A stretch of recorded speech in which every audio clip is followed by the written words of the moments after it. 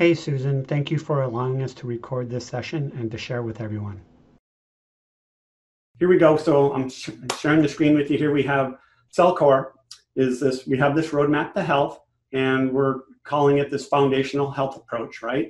Yeah. That we have here, and so it's these foundational products that work as what we do, and restoring hope and health is who we are. That's the motto of the company. Okay. Yeah, I love it. What, right. So that's a, and so and it's interesting whether you've been with Cellcore for a while or i you know, somebody's brand new. It's it, they still really don't understand this the foundation behind Cellcore, like we're what we're all about, right? So, mm-hmm. and with these conversations I've had, I'm finally finding out that a lot of people are using maybe, you know, I call it onesies twosies, right? They're using a couple of our products here and there, and, they're, and that's great because those products like Mito ATP and Biotoxin Binder and you know all these things are absolutely fantastic to add to your clinical practice. But where we actually see people making transformational changes not only in their practice but in the health of their patients is when they start really to understand the, the why behind cellcore and the uh, roadmap to health and the power of the phases that we call it. So yeah. we see we have this foundation that the company was built on, with, you know, which is behind the story of Todd Watts. And Jay Davidson ended up coming along with him a little bit later down the road. But Todd started, he's a chiropractor and he was, work, he was working with clients. And he was diagnosed himself at the age of 28 with Epstein Barr virus. And quite interestingly enough, that was the same age I was when I was diagnosed with Epstein Barr. So, and I can kind of relate with him. And his story is the same to where over the next several decades of his life, just like me, you know, and I got into my 40s, 30s, and 40s and whatnot, that my health really took this downhill dramatic spiral, right? Which led to chronic fatigue and joint related issues and was just really debilitating for him. And so it wasn't until he was diagnosed with Lyme disease that, that he really forced him to really look further and, and look deeper into some of the more different products and things because he just found that what he was currently using in practice just were lacking depth he just didn't have the products and supplements and things and protocols and stuff he was using just didn't have the depth to really address his situation. And so once he found out, he started doing some research and looked into things and came across humic and fulvic acids, which are, which is these bioactive carbons. That when he started to implement those carbons into some of the products and stuff, then that's when his life turned around, not only for himself but for his you know patients as well in his clinic.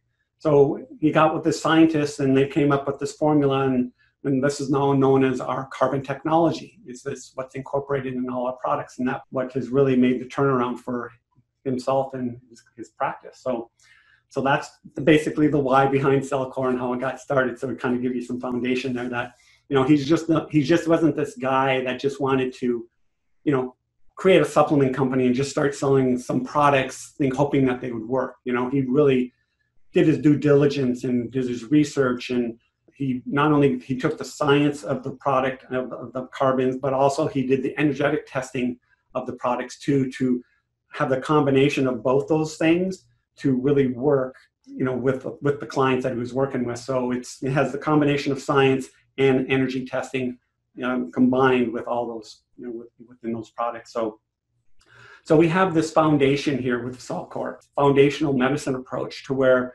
this it's really a precursor to functional medicine. So what and then what that means is that we're coming in prior to anything patient specific to where we're getting that patient back into uh, homeostasis, you know, that, that baseline, right? So, and what I just I always like to emphasize with maybe somebody who's new to functional medicine or they've had decades worth of work, right? Like much like yourself, to where I always want to emphasize that you know, we are classified, like I was saying, like, as a supplement company, but with our carbon technology and stuff, we are definitely not, I don't consider us a supplement company. We're in a category in its own of, of like a detoxification company, I would say, with our carbon technology that sets us apart from other supplements. So, that being said, we're not here to replace any current existing product lines or even protocols that you might have because I understand that you maybe you've got decades of work behind you, right? And just to kind of think that somebody's going to come in and just replace your product line or your protocols, I think is kind of absurd to think that's going to happen. Yeah, but but why I, this is why what I told you before, and I won't take too much, is the fact that the only reason I'm here is because I never quit learning and I already get fantastic results because I believe like they believe. I just do it differently. But if somebody can take what I already do and get the results I do, and I can change that dynamics, then and they they've done whatever they've done, they've done an outstanding job, not by testimonies or just selling supplements. That's why I'm here. It's because they have the clinical and they have all the stuff behind it. So I, I am just that's why I'm so excited. Awesome. I'm glad to hear that that you have an open mind because some some may not. So, and I just like to reassure that fact that we're not here to really come in and step on the toes of that clinician who is really advanced in the work they do. We're just here to really help those products and protocols that they are using to have better better efficacy, right?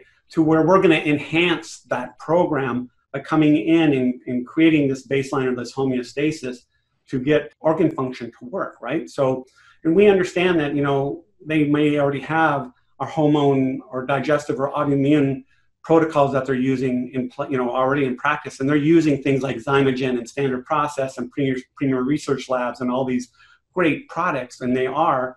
So, you know, just Cellcore is here uh, foundationally to detox the body, to enhance the efficacy of those products and protocols. So when they when you do bring them in, right? So I'm so excited, I can't stand it. I love to hear that.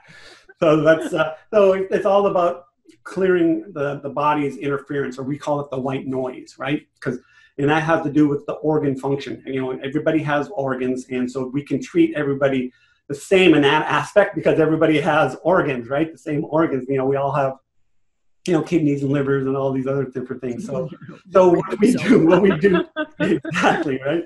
So what we do is we clear out all this white noise to clear the body of parasites, environmental toxins, radiation, heavy metals, molds, and all these things before we can even get into any organ-specific work with a patient, right?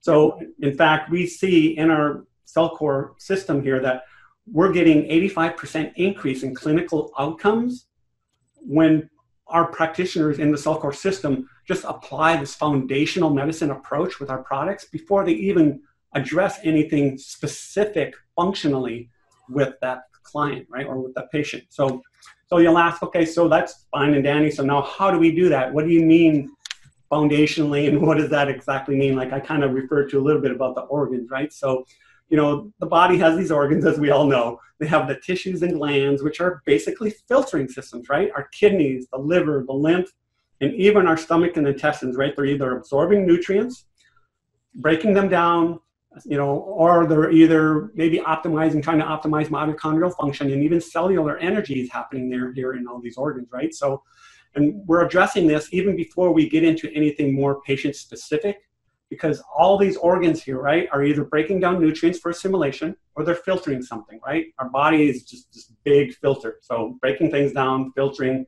and going through that. So us as a company, Cellcore again, foundationally, that's where we come in, cleaning up that white noise and all the debris and garbage that's in the and system. The problem with us, as not me now, but the problem with practitioners is they don't know that, or if they do, they ignore it. They try to symptom treat by fix the organ rather than going to why the organ's dysfunctional.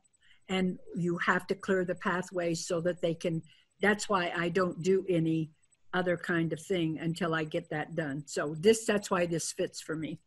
Awesome. Yeah, no, I love that. So yeah, I mean I and I think we'll see that year after year sometimes. It's like whether you know we're chasing after an MTHFR thing, right? A genetic SNP, or they're chasing after candida, or now yeah, or, or, or now it's the ketogenic diet. And, you know, yeah. you know, it's like, okay, hold on a second. Let's, all those things are good. All those things are true, but partial, I call it, to where they have their time and place. But it's like, let's first get this homeostasis, right? So that's what we do here. We that's what cell. They have expensive urine. A lot of people. right. Yeah, and it's not even getting into the cell. So that's what we want to try to get to have happen. So I have a couple analogies here. We have this. We want to try to create this fertile ground, right? So you can look at this like you know you've got this um, organic garden that you want to plant right and you know and so you have the fruit and vegetables and stuff that you want to grow you have the seeds but you just can't take those seeds or even the starters from this year and plant them in the midst of all that trash from last year, right? So you have to go in and cultivate that ground, clean it all up. So you have this fertile ground. So those plants and seeds have the opportunity to grow and proliferate, right? So that's what we do with Cellcore is basically that same analogy. And I'll use the same thing here with this house. Look at this house, right? You can't, same thing here. It's like, look, it's got mold on the walls. Things are falling apart. You just can't look at this house and go, maybe you want to have, flip it as a rental or you want to keep it as a dream home, right? Either way, you just can't look at this and go, let's throw some paint on it and let's bring in some carpet and tile and granite and all these things, right? It's not even ready for that. I mean, you can't move into this house. We have to do that prep work. And a lot of times we're going to have to tear things down to the studs, right? They're going to have to take off that drywall. We're going to have to remove you know, all that insulation and everything in the house. So doing that prep work, right? So it's that same type of thing in our bodies to where that's what Cellcore is coming in doing is they're coming up and cleaning out all that you know, all that rubbish, all that debris, you know, removing the drywall and, this, and all the stucco and whatever else that might be in there, so that when you do choose individual products or bring in protocols of your own, that they will actually have that opportunity to work, right? So, so it's the same thing, like you know, it's the same thing like with our health. You know, we have to just go in and clear that all stuff out, just like this home. So we do that prep work, in, and that's what Cellcore does really well. And by all means, as the company is concerned, we're not saying we're the end all be all as far as all supplements are concerned. I mean, if you feel the need that somebody might need a little bit more liver support, maybe in phase one, phase two detoxification, by all means, bring that product in. We're not against that. Our job here as Cellcore is to come in foundationally, remember, and remove that debris and all that junk. Sure, do we have some nutritive components to our products? Yes, we do. It might not be enough for a specific person, but just know that those carbons that are in there that are doing the work to allow that stuff that you are bringing in to really have the efficacy it should. So, so that's where that's based on as far as our products are concerned. So, so foundationally, we're just getting that work done, doing that prep work.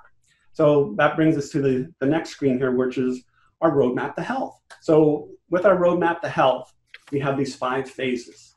And each phase has its own design task. And it's very kind of similar to like the five R's or four R approach that you might hear about quite a bit, but yeah.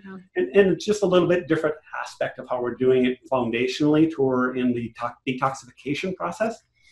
So this roadmap to health, and I don't know if you've seen this um, five phases yet, but you know. I have. I I I actually printed off your thing that oh. you sent me, so I'm looking at what you're showing me. Oh, awesome! Good. I have it right here. Good. Okay. Yeah, and I think I left you some. Yep, perfect. So, and this roadmap to health, right, is based on mitochondrial function, ATP production, right? So it's very critical throughout this whole phase.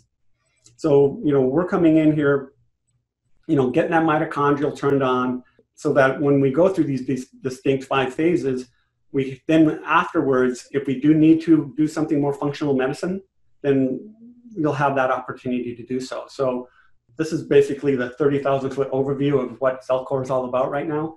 And so I'll go to the next phase just to kind of give you that distinction about we're doing foundational work before even functional medicine comes in. So I just want to lay that groundwork down. So that so those five phases now work right along with this drainage funnel. So and I'll get into this a little bit more, but I want to use this kind of this uh, analogy here to where it has a lot to do with detoxification, right? This drainage funnel, to where maybe yourself or I, I think I've been there once myself, or maybe somebody you know went through a detox program, right? Or they thought it was a detox program, and they had these drinks. There's these smoothies, and they were doing these, taking these drinks, and they were doing them, and they were for first for the first day or so they were doing okay. Then all of a sudden it was like, oh my gosh, they just fatigue and brain fog and the body started shutting down and they said oh my god they had to take off work and stuff right? And they go oh my god i'll never do this again. It was the worst thing ever. So quite frankly what was happening there right? They it wasn't a detox. It was more of a cleanse. And that's actually something maybe you might want to do as a maintenance thing but definitely not for somebody starting out. Like maybe they were told you've got some toxicity. And they go oh my gosh yeah let's let me do this detox. And while, what they were doing with that detox is they were working way up here in the organs and tissues, way up top here in the funnel, to where you know they were just circulating all those toxins around in the body. And because that drainage pathway wasn't opened up below, for one, it couldn't exit the body, and then secondly, they didn't even have any binders in there to absorb those toxins. And so it was just being, you know, reabsorbed into the body and recirculating around, and who knows where it got left. But so, quite frankly, if somebody's doing a detox program and they feel horrible, uh, it's one, they could be just going too fast, but secondly, they're doing it wrong, right? So, this this funnel here is all about the body's drainage funnel, and we start always with the colon. But quite frankly, the colon, as you probably know, is one of the last things to really heal. But we have to start there because what? People need to be pooping. And I'll ask somebody, it's like, so are you regular? And they'll go, yeah, I go every Sunday at six o'clock right? I'm like, no, you know, daily, you know, um, I'll take at least once a day, but I like to see two, maybe even three, would, as we're going through a, a, good detox, a good. But to show you the mental thing about that, while I'm thinking about it, I had a woman call me. She said, "I've got diarrhea, terrible." I said, "What does that mean to you?" I said, Tell me what diarrhea means to you. I'm going three and four times a day, stool, movements. I'm got diarrhea. I'm going to get sick. And she hadn't pooped and, you know, she was used to going maybe once every two or three days. And so she thought she had diarrhea until she was pooping three and four times a day, real oh. stool, full stool. And we got her where she's, but she called, she says, I'm going to get sick. I'm pooping too much. I've got diarrhea. I said, "Oh my God, people are so we're just so whacked." Well, they don't know; they're not educated, yeah. right? They, they, didn't know. I mean, it really wasn't diarrhea; it was just they were actually. Being, she was getting healthy. Yeah, being regular now. So, so yeah. So anyway, we you know we go up the we like phase one, we're addressing the colon. Then phase two and phase three, and we go up this funnel, right? Each step of the way. We're not really addressing each step of this funnel immediately all up front, right? So phase one is uh, phase one is considered uh, the colon, right? Right. Yep. Oh, okay, yep. I want to write it, it on here so I have it's, it. Yeah, it's the um, you know the drainage. It's the drainage funnel and energy production is what it's called primarily. It's drainage yeah. and energy. But yeah, we're addressing the colon for sure. That's where we start. Okay, cool. Then we just move up that ladder, right, to the liver and bile. You know, and the so skin. What is, what is that one? Is that I want to write it on this sheet of paper so I have it. The liver bile is is that phase two? That liver and bile, yeah. Mm-hmm. That's phase two. Yeah, yeah, and then and there's the there's lymph is three. Right. Yep. As we go around, I think it's like actually three, four. So it's like there's there's actually a little bit of comment. It's not really in the same exact synchronization of the phases. It's fairly close though. It's like a combination three or four there with the lymph and all that. So okay. And, and so yeah, and then we're addressing the organs and all that. So like and that phase, would be closer phase, to five. Phase, phase four. And then phase five is is still the organs and tissues in the lymph system. So we're still addressing all that. So I really can't oh. say that each of this funnel is specifically okay. designed to each phase but it is in so an order. combines but yeah. okay. So that's that's the drainage funnel and just keep this funnel in mind the whole time as we're going through this because it's always going to come back to that to that funnel and the phases there. So so that's what um, that's all about there with, the, with that drainage funnel. I mean it's really and it's really quite interesting about that drainage funnel too because i think even myself i knew intuitively years ago that yeah people need to be pooping right? That just made sense and I understood that, but I really didn't until I saw this funnel and put it on. It's like, yeah, okay, I it it just like, oh yeah, it just the light bulb went on kind of thing. It's like, yeah, that makes sense. Just nobody ever put it in an order like that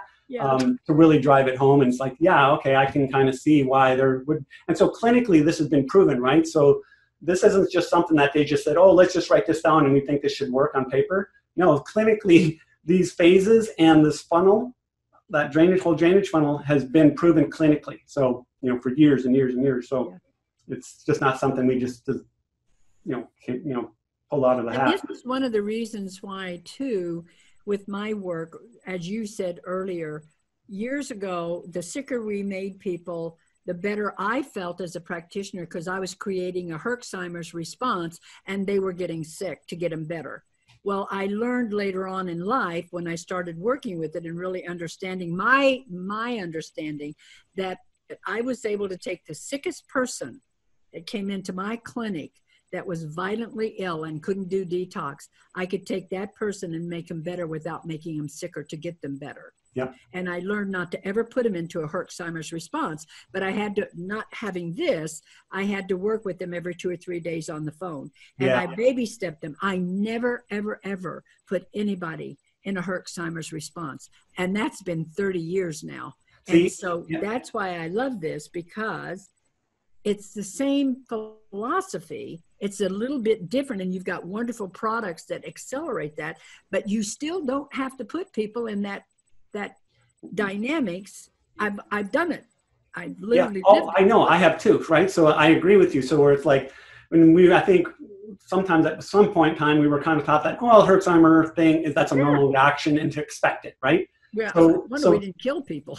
well, yeah. So, so yeah, and so I mean, I see it ti- even today, to where a lot of times people will say, "Yeah, I, I was working with this practitioner and I was hurting, and they told me that's normal." And it's like, no, well, okay, they might have some a little bit symptoms, but if they're really being buckled over, there's something wrong. You know that either the funnel, either they're pushing too hard, that funnel's not being addressed right. it's, Some- something's going gone. It's just recirculate. You know, it's Yeah. recycling that garbage, and that's why they get sick. Yeah, yeah. So, yeah, I agree. Yeah. So, so this um this page here is just basically this thirty thousand foot overview here of of the of the phases again, and um, we we start with phase one was that energy and drainage funnel. I'm going to go into the products and the phases here a bit, but before I do get into that phase one, I want to talk about the carbon technology. So, if nothing else, if you take nothing else away from this today, it's going to have to do about our carbon technology and what that's all about. Because if we didn't have this carbon technology, our supplements would be just that another supplement. We would be another Xymogen or Premier Research Labs or you know Standard Process or wherever it might be that you're using Metagenics, Biotics, all these companies. So we would just be another supplement company, right? So, and if you look at our products on each on the labels of the product, you'll see on it extracts of humic and fulvic acids. And you'll go, well, that's interesting. It appears it appears that each product has the same thing, right? And according to the label, that would be true, but it's true but partial in that each product has its own formula to where it has its extracts of extracts of these specific humic and fulvic acids to where we call them that they have a program directive. And you can think of them as being an intelligent adaptogen and how they are work and what they do. And so that's kind of mind blowing in itself. It's like, wow, I've never really heard that term when we're talking about carbons or a, a, you know a supplement type of thing like this. You might hear that in like like some type of an herb, right? And some Like an adaptogen herb, like Yeah, exactly. So- the- yeah, and we do have some herbs in our products. saying that that's the humic and fulvic acids, right? And part of the carbon technology is doing that. Yep, yep. And so, just to go into a little bit about a little bit of science, I'm going to go. I don't want to go too deep into it, but just to just to clarify with people what humic and fulvics are. Sometimes I don't know. I, you Okay, know, I've never so- worked with them, and that's I've heard. Oh, I have. I have in some. Um, yeah, but I don't really understand why. But I noticed that they had it in their okay. products, and I really wanted to know why. Perfect. So, so yep, these carbons, right? They're they're made when billions of beneficial microbes and decomposed old plant material are in the presence of oxygen. So they turn into this very nutrient-rich dirt, which is turns into this shale type of Okay. substance, right? So it's dirt. It's very new. It's just basically it's dirt. That's what it is. It's earth. It's dirt, but it's very nutrient rich, and it contains that dirt. Then contains these fulvic and humic acids and these extracts. So, and we didn't learn about these compounds in nutrition or science class, No. right? but they're essential to our health. And what's interesting about that is that these they're high energy, right? These fulvic and humics, and they're composed of carbon, hydrogen, and oxygen. What else is composed of that? The human body. We're 96% of carbon, hydrogen, and oxygen. The other 3 4% is minerals, right? So minerals are there. So, and with another point about that is Mother Nature designed these humic and fulvic acids so intricately, right, that they cannot be synthesized by a chemist in the lab. However, what we are able to do, and Jeff, who's our lead scientist with Cellcore and part of the company, he's not going anywhere. He's really valuable to us. He's a great guy.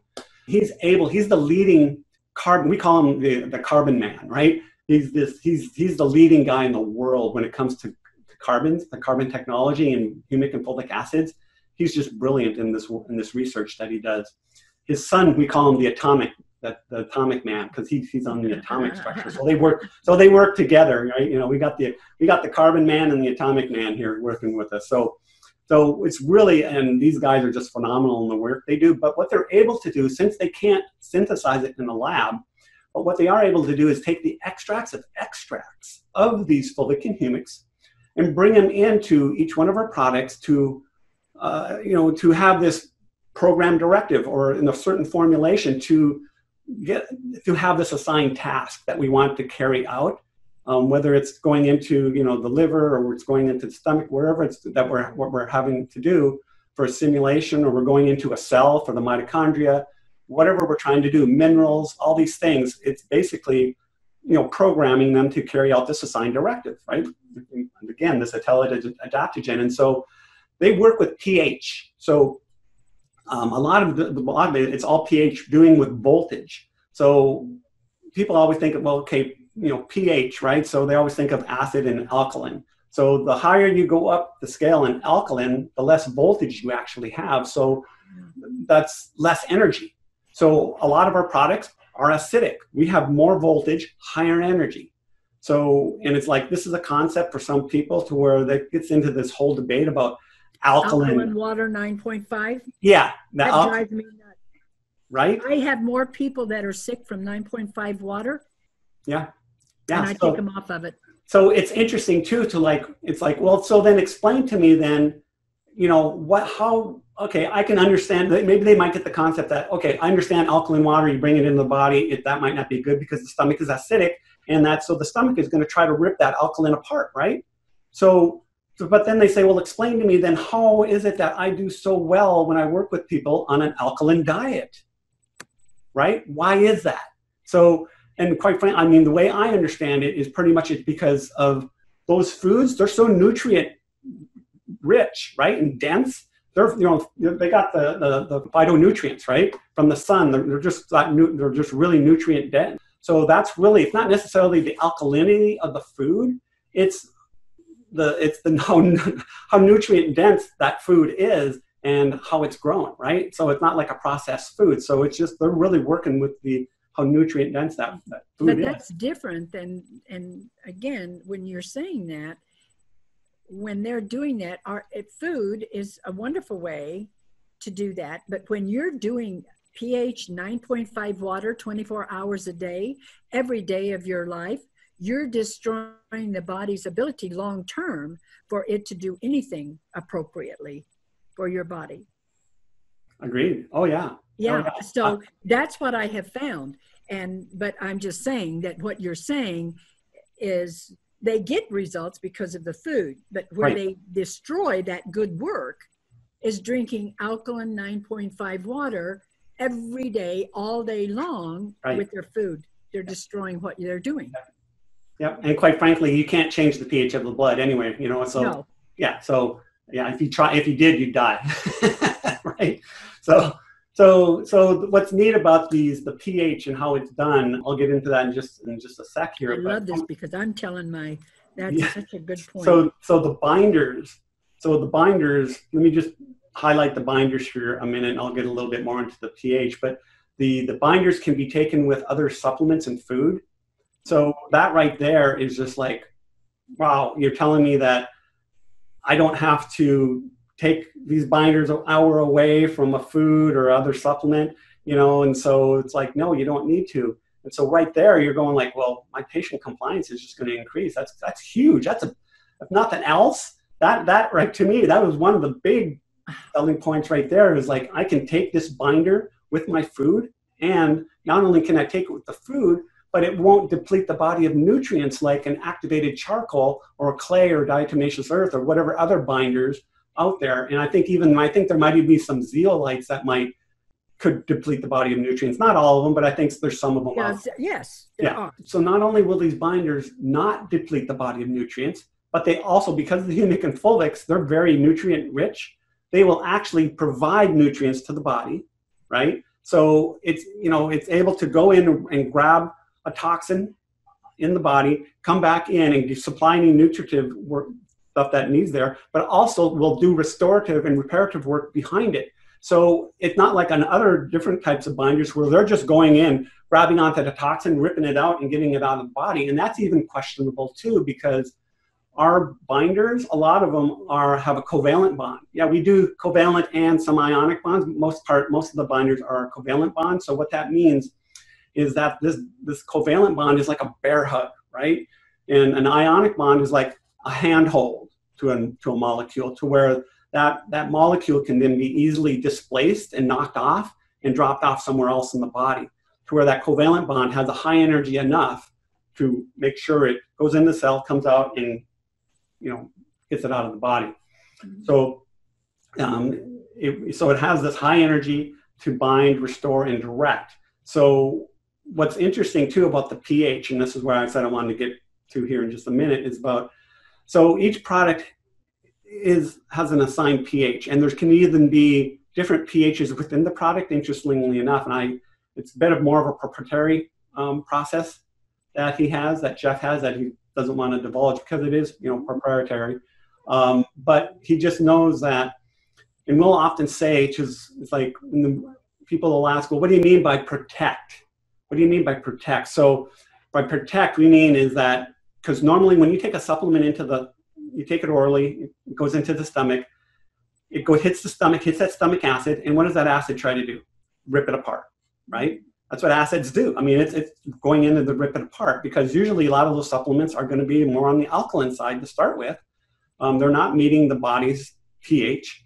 So what our products are do, they're they're have the proper pH to where now it's protecting that herb when it goes into the body to make sure that it's going to have the assigned directive that we were intending intended it to do.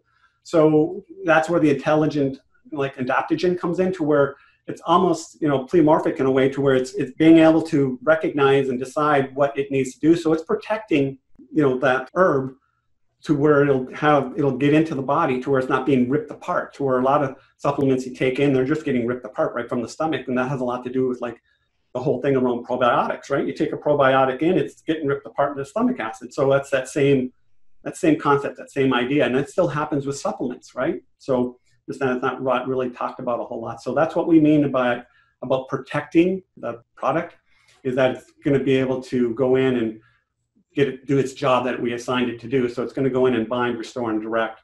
So it, and not only that, it's able to protect the tissue where chelation has occurred. So we we don't say this on the supplement itself, but you just need to know that humic and fulvic acids are the strongest known chelators of science.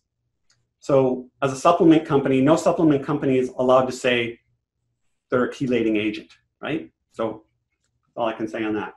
So I move on now to that question gets brought up about liposomes. So it's like, well, why don't you use liposomal technology in your products? That's everybody's doing that now. It's like every, you know, it's like it's supposed to be like the the next biggest greatest thing. Right now, I tend to agree, and quite frankly, there is times where I, I use liposomal myself in certain products. Like I love like liposomal vitamin C, for instance, because I can high dose vitamin C if I want to, and they don't. I won't have that side effect of you know giving somebody the runs and the, that aspect of it. But where we have seen uh, clinically is that our products work even better than liposomal technology, and Jeff has the science background to, to prove that because we've just seen it happen clinically, but also he has said if he felt liposomal technology was superior to our, carbon technology, he would have used it. But he feels it's not. So, so he, he's saying it's better that that the carbon technology is better than liposomal. Yes, and well, let me ex- explain a little How bit. How cool is that? Like so, and then why? So liposome, for one thing, um, is required to have that lipid bilayer on the cell membrane right? You got that lipid bilayer, which I'm sure you know well about. And so you have those liposomes, right, that are basically emulsified fat that they bring in a product, whether it's vitamin C or glutathione or whatever it is, and then they put it into the liposome, emulsify mm-hmm. or in, with, rather put it into the, usually it's a lecithin type of formula, and then they emulsify it to try to get it into the cell. Well, it can still have, even as good, I mean, I like, I think liposomal technology has its place, Yeah. Um, but it's still a large molecule, comparatively speaking, to our carbons. And so it still has to enter the cell through that lipid bilayer. And liposomes don't have pH. Basically, it's a neutral, almost like a neutral. There is no pH really assigned to fat, to liposomes. There's no pH there. So our carbon technology uses pH to enter the cell. And they'll say, well, is it using the lipid bilayer? To? No, it's not. So it's like, okay, so then how, how are you getting into the cell?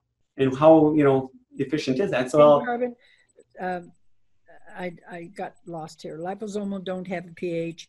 Right. But the carbon uses pH. Yeah, uses pH as well. Yes. Yeah. Yep. Yep. To get so, into the cell. Yep. To get into the cell and how it so and how it does that. So the pH is high energy, right? And so Jeff explains it this way, and I thought it was really interesting how he his analogy of it was that you think of it as a spirit, or he termed it as Casper the friendly ghost, to where it just goes through the like Casper goes through the wall because like, because right. he can.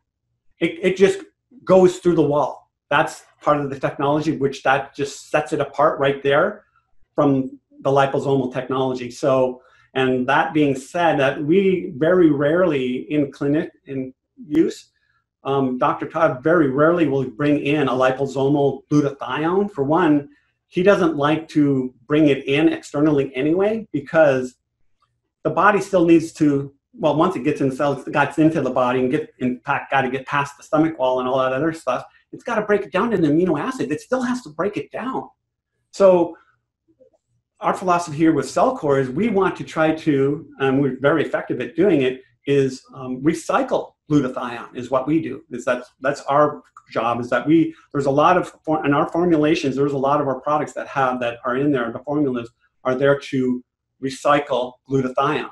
So we just we, it's more efficient to recycle glutathione. You don't need to bring in these expensive liposomal glutathiones, which questionably I've tried it myself. I've tried it on other clients and patients, and even some, a lot of my colleagues will say the same thing. They've really never seen the big benefits that they claim liposomal, like especially glutathione, yeah. is primarily what I'm talking about here is supposed to get with people. It, we just don't see that happen. I don't know. Have you seen that happen with any? Have you worked with liposomal glutathione at all? No, I I have a I have a doctor that I work with that he developed. Um, he has a compounding. Uh, he works with a compounding pharmacy, and I've used his uh, glutathione with my when I was developed cancer, and was trying to work with my liver support and everything like that. And I took his prescription from it. It's he developed it, uh, and worked with it. But I can't say that I physically noticed any difference with it. I did it because he told me I needed it.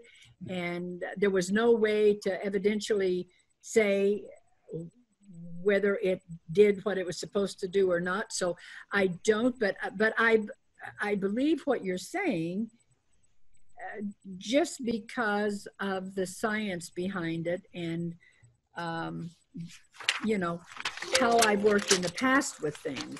Right. So, yeah, so we try to re- we try to recycle glutathione is what we're trying to do, right? To just do that whole, you know, you got that the still got it. Like I said, it's still got to.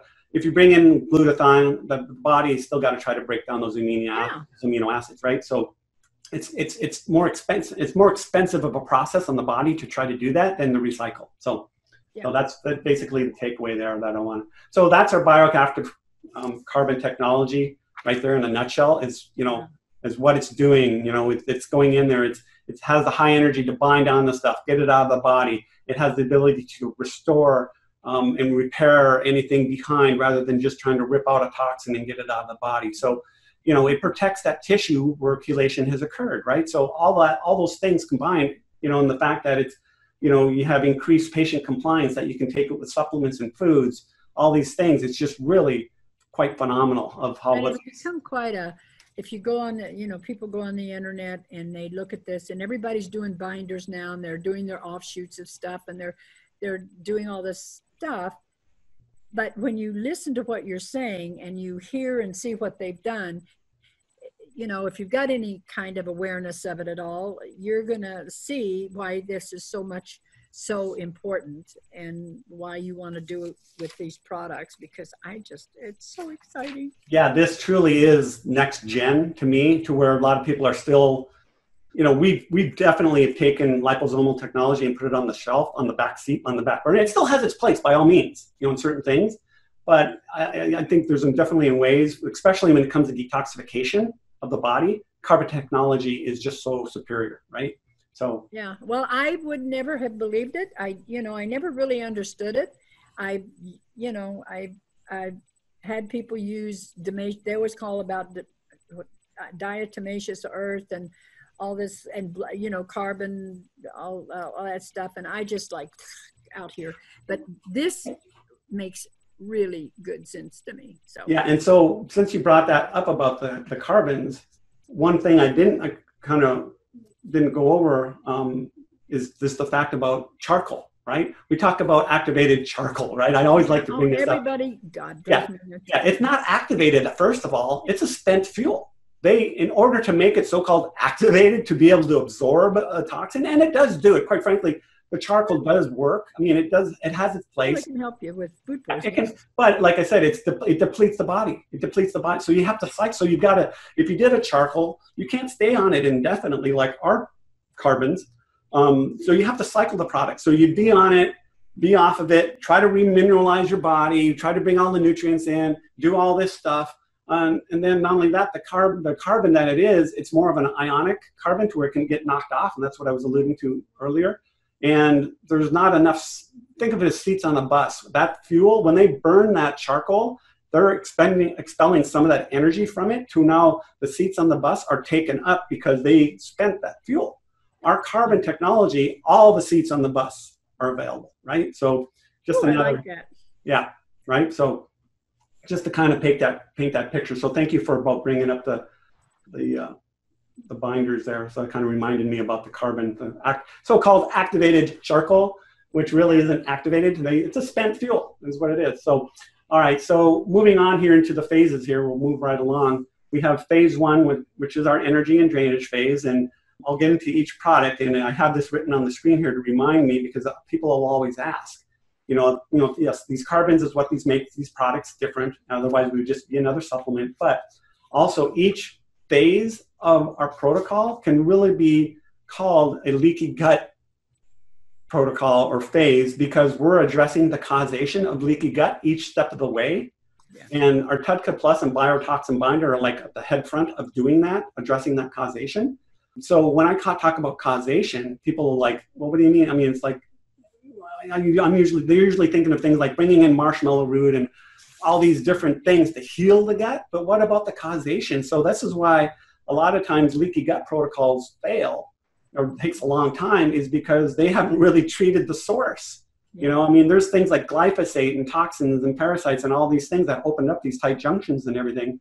And so if you don't get to the causation, you're just wasting your time. So people often ask me, it's like, do I need to do a leaky gut program before, during, after? How does that work? It's like, hey, you can do it during for sure. And again, we're not coming in to say we are the end all be all to every step or facet that you might want to bring in. If you have um, other leaky gut products, I have mine, you might have yours that you like to bring in to help heal and seal the gut as you're moving through. But we just need to be sure that we're removing the causation, right? That's what we do so well.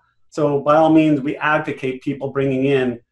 But you uh, can't fix the gut. This is why that's the last place I go because you can't fix the gut no matter what. You take the foam off the beer, you get somebody asymptomatic relief, but you're not fixing the cause of why the gut's leaking. Yep. yep. So that's where I buy. Yep. So that's what we come in and do: detoxify, clean up that white noise, right? Yeah. To, to where now that, like I said earlier, to whatever programs or protocols that you implemented in your clinic to help with leaky gut, hey, bring it in by all means. We're not the end all be all. We do detoxification really well, and that's our wheelhouse. Will we have Will we have a product that might do that in the future? Possibly. Um, you but might. you know, so.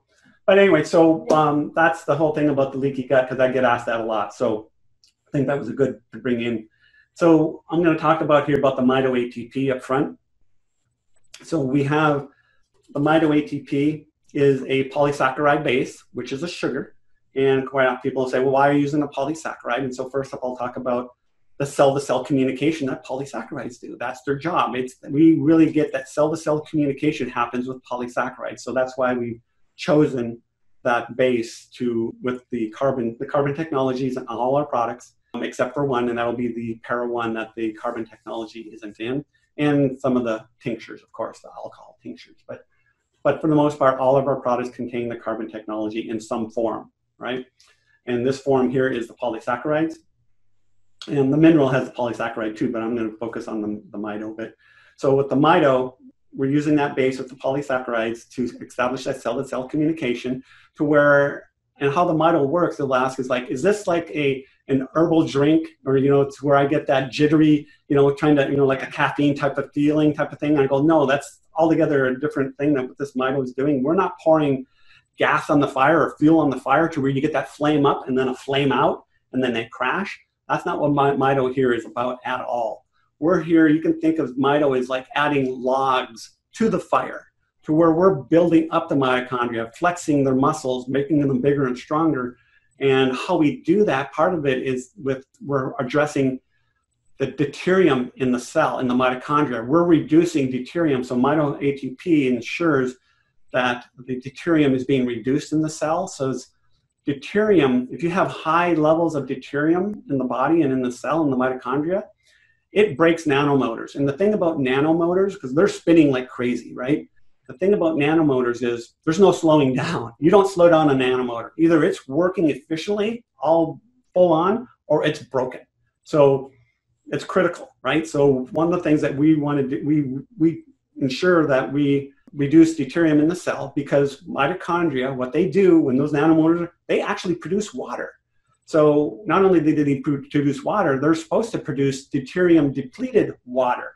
So we just ensure that that deuterium levels are low, which will just help throughout this whole detoxification process. But also, the mito product goes in and clears radioactive elements from the cell and powers up the drainage funnel. So yes, it goes in and helps the radioactive elements from that cell if there is anything there. So that's really quite interesting to be being brought up is that because normally when somebody takes Mito ATP, they don't feel that jittery type of thing. It's just like coming waking up from a good nap, right? You just have that brain that brain clarity kind of thing going. You're not that jittery type of thing. It's just all of a sudden you just have that clarity.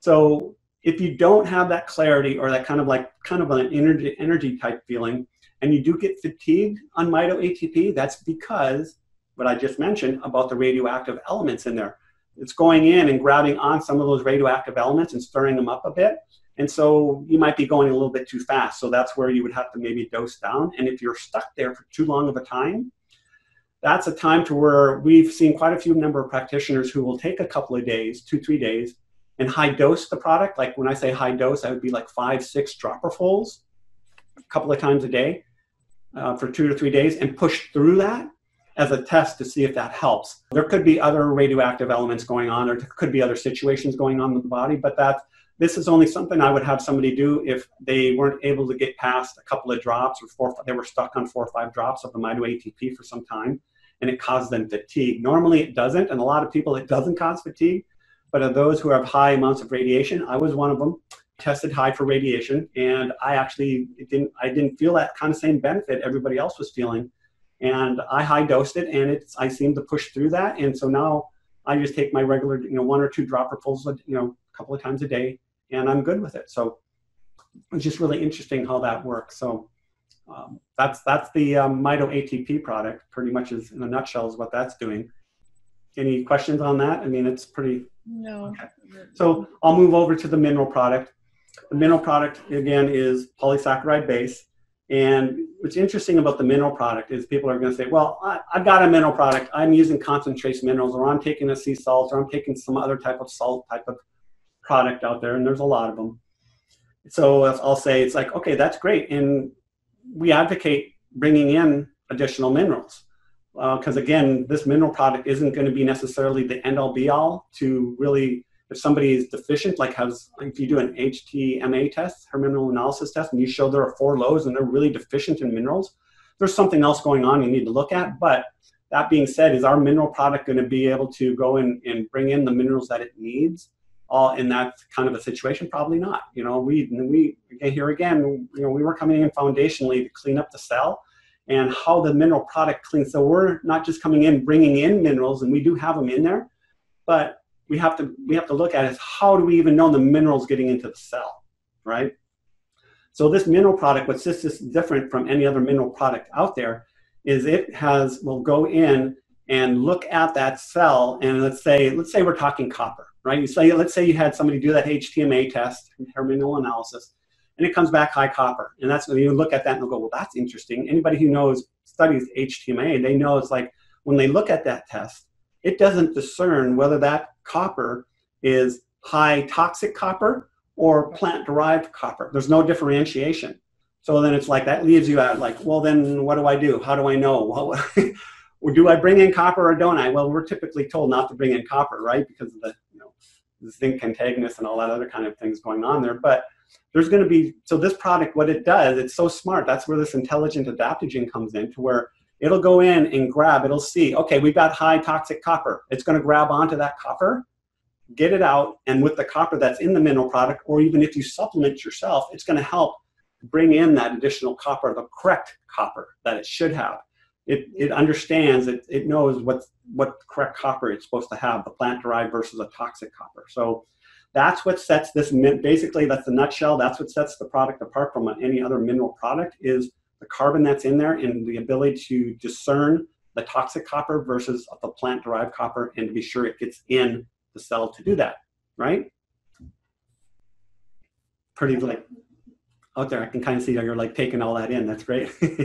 yeah, I'm writing it down. Yeah, yeah. So that's what sets that par- uh, product apart, and it's a um, it's a high pH. It's it's a high pH product. So what's great about it's kind of a clinical pearl here with the mineral product is that it can be used in other aspects here rather than just going and, and discerning copper and you know and, and I, ta- I talked about copper but it's going to do that with all the other minerals as well right so let's say somebody has um, a kidney issue function going on. Maybe they, it could even be kidney stones, right?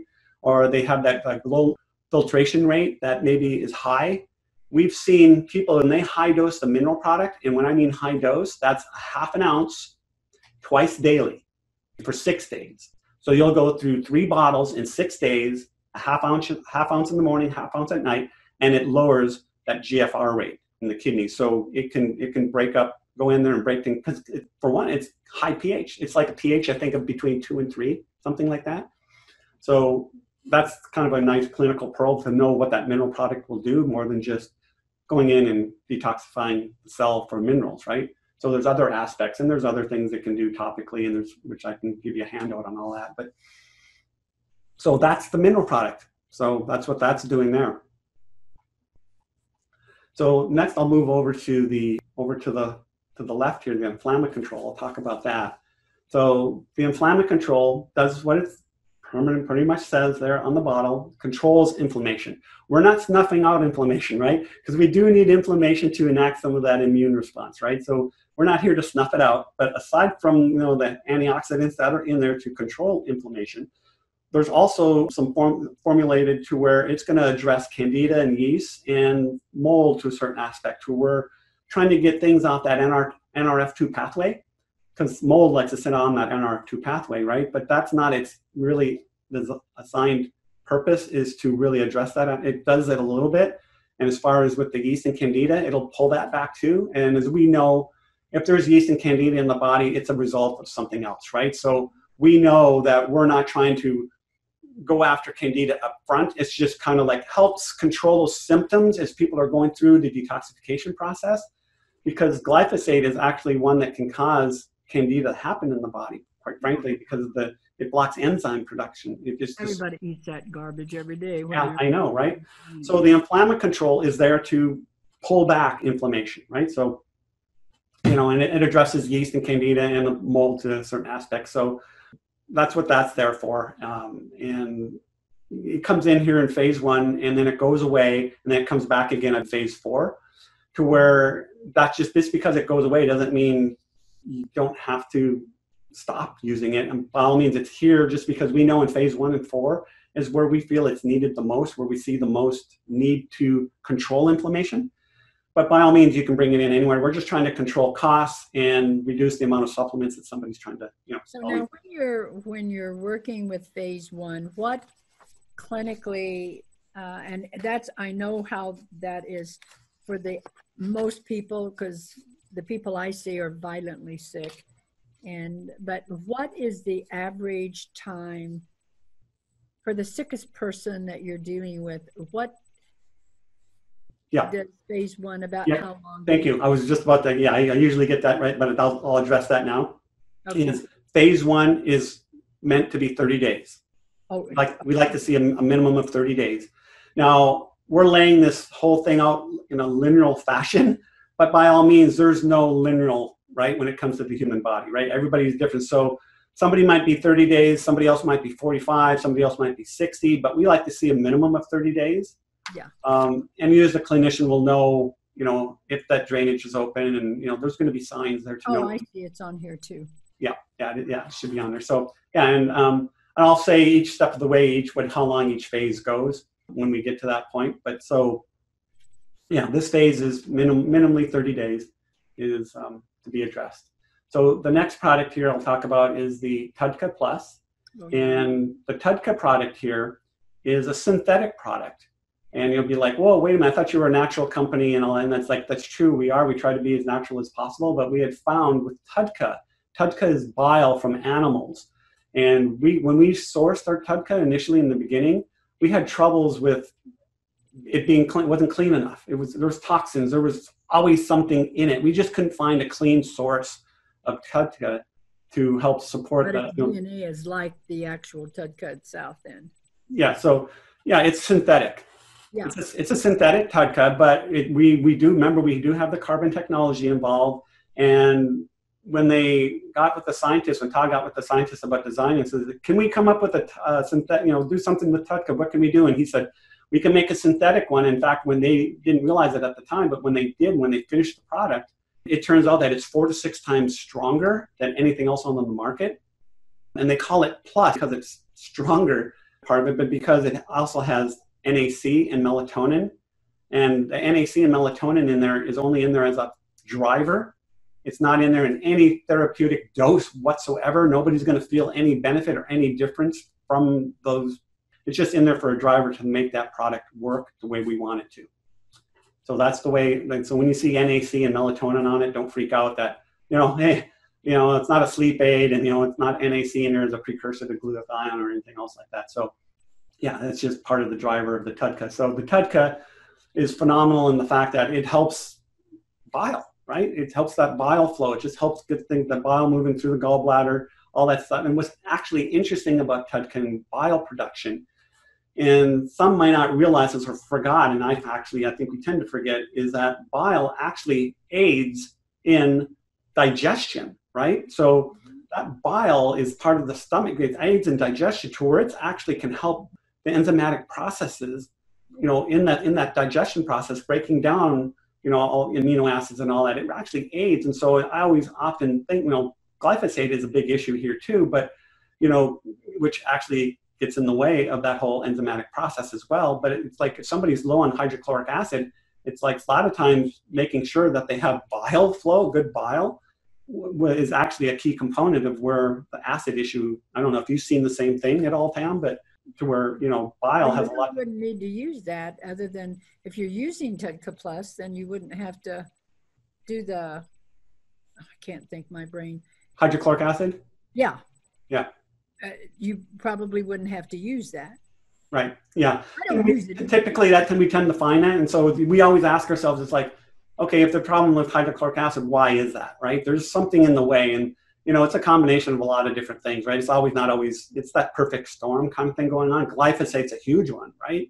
So, which I will kind of get into a little bit later. But since I'm talking about the liver, glyphosate has been known to disrupt or get in the way of the enzymatic processes in the liver, right?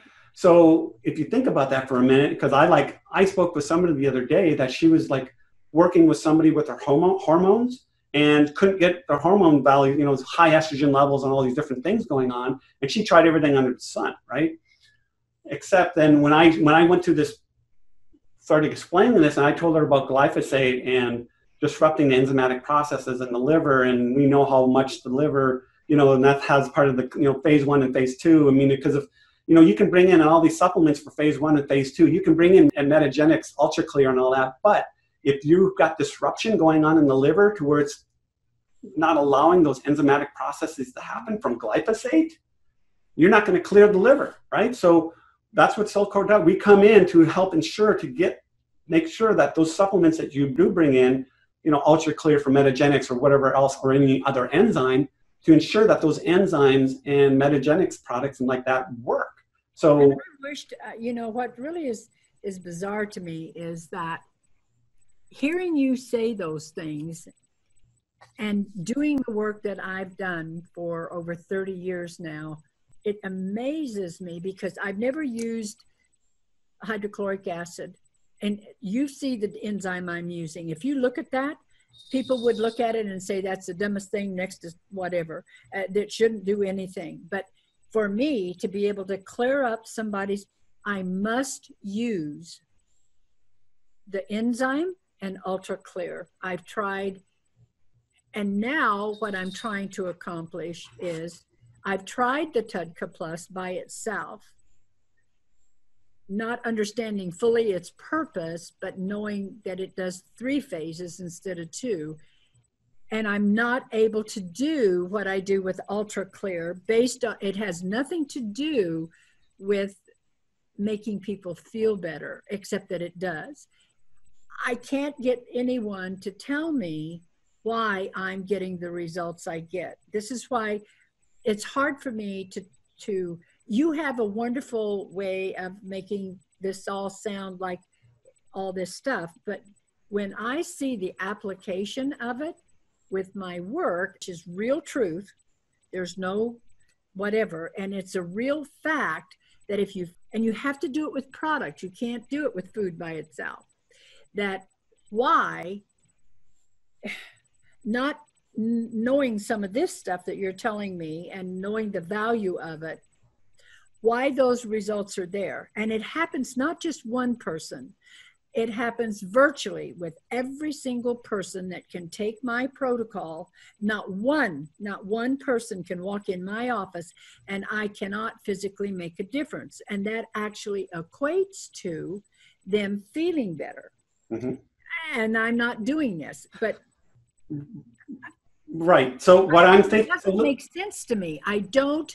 yeah, No So- one can give me an answer why that enzyme yeah. does what it's supposed to do. So, so right, let's talk into that a little bit. So let's let's say, so you're bringing in, which maybe some people don't, or even the right enzyme, because there's all kinds of enzymes out there, right? So I think you're, I think you happen to hit a couple of things right on the head that are working, and you found it clinically that to work, and but you don't really understand the processes behind it. So I don't know why. Right, right. So what I'm thinking is happening is that you're bringing in that enzyme, and you've got maybe the right combination with the you know, the phase one and phase two detoxification, with Metagenics does with that, to where you're going in, and what the glyphosate is coming in and disrupting those enzymes you're bringing in are probably helping that pathway work. So I question, I wonder if we addressed, come up and a straight address, maybe because our HMET binder is addresses glyphosate. I'm wondering if we were to direct, more directly address the glyphosate issue, would we have to be that reliant on that enzyme? I, I, no doubt it's a great enzyme. I agree. Okay. So I'm just wondering if we would need to use it in the amount that you're using it or or at all if we get the body to work like because i ask myself why do we have to bring in an enzyme right why why is that No, they and that was uh, you know the the philosophy of that when I first learned about it was that if you cook or steam or anything your food, and- but then Yeah. ac- that theory didn't work. The the raw food people that Yeah. did raw food, Yeah. people that food combined, right they still had not only did they have horrible but it so what i've done i've had to try to all i know is is that if i fix what i have And if I veer out of that, because I do experiment with enzymes, people will send me enzymes. They want me to test it, they want me to work with it.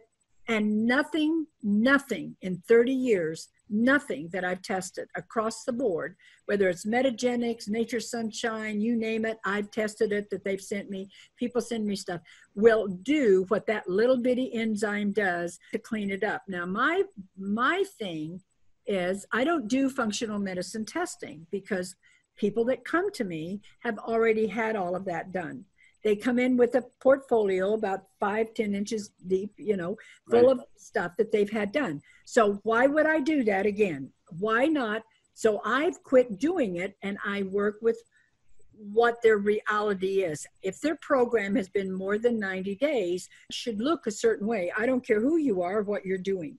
If it doesn't do that, maybe you're better and maybe you're doing well, but I can take you and change what that physical aspect looks like within a 30 day element. Immediately change that, maybe not fix it all, but make a difference. I don't understand why that does that, but it does it on everybody. That's what I'm saying. Yeah.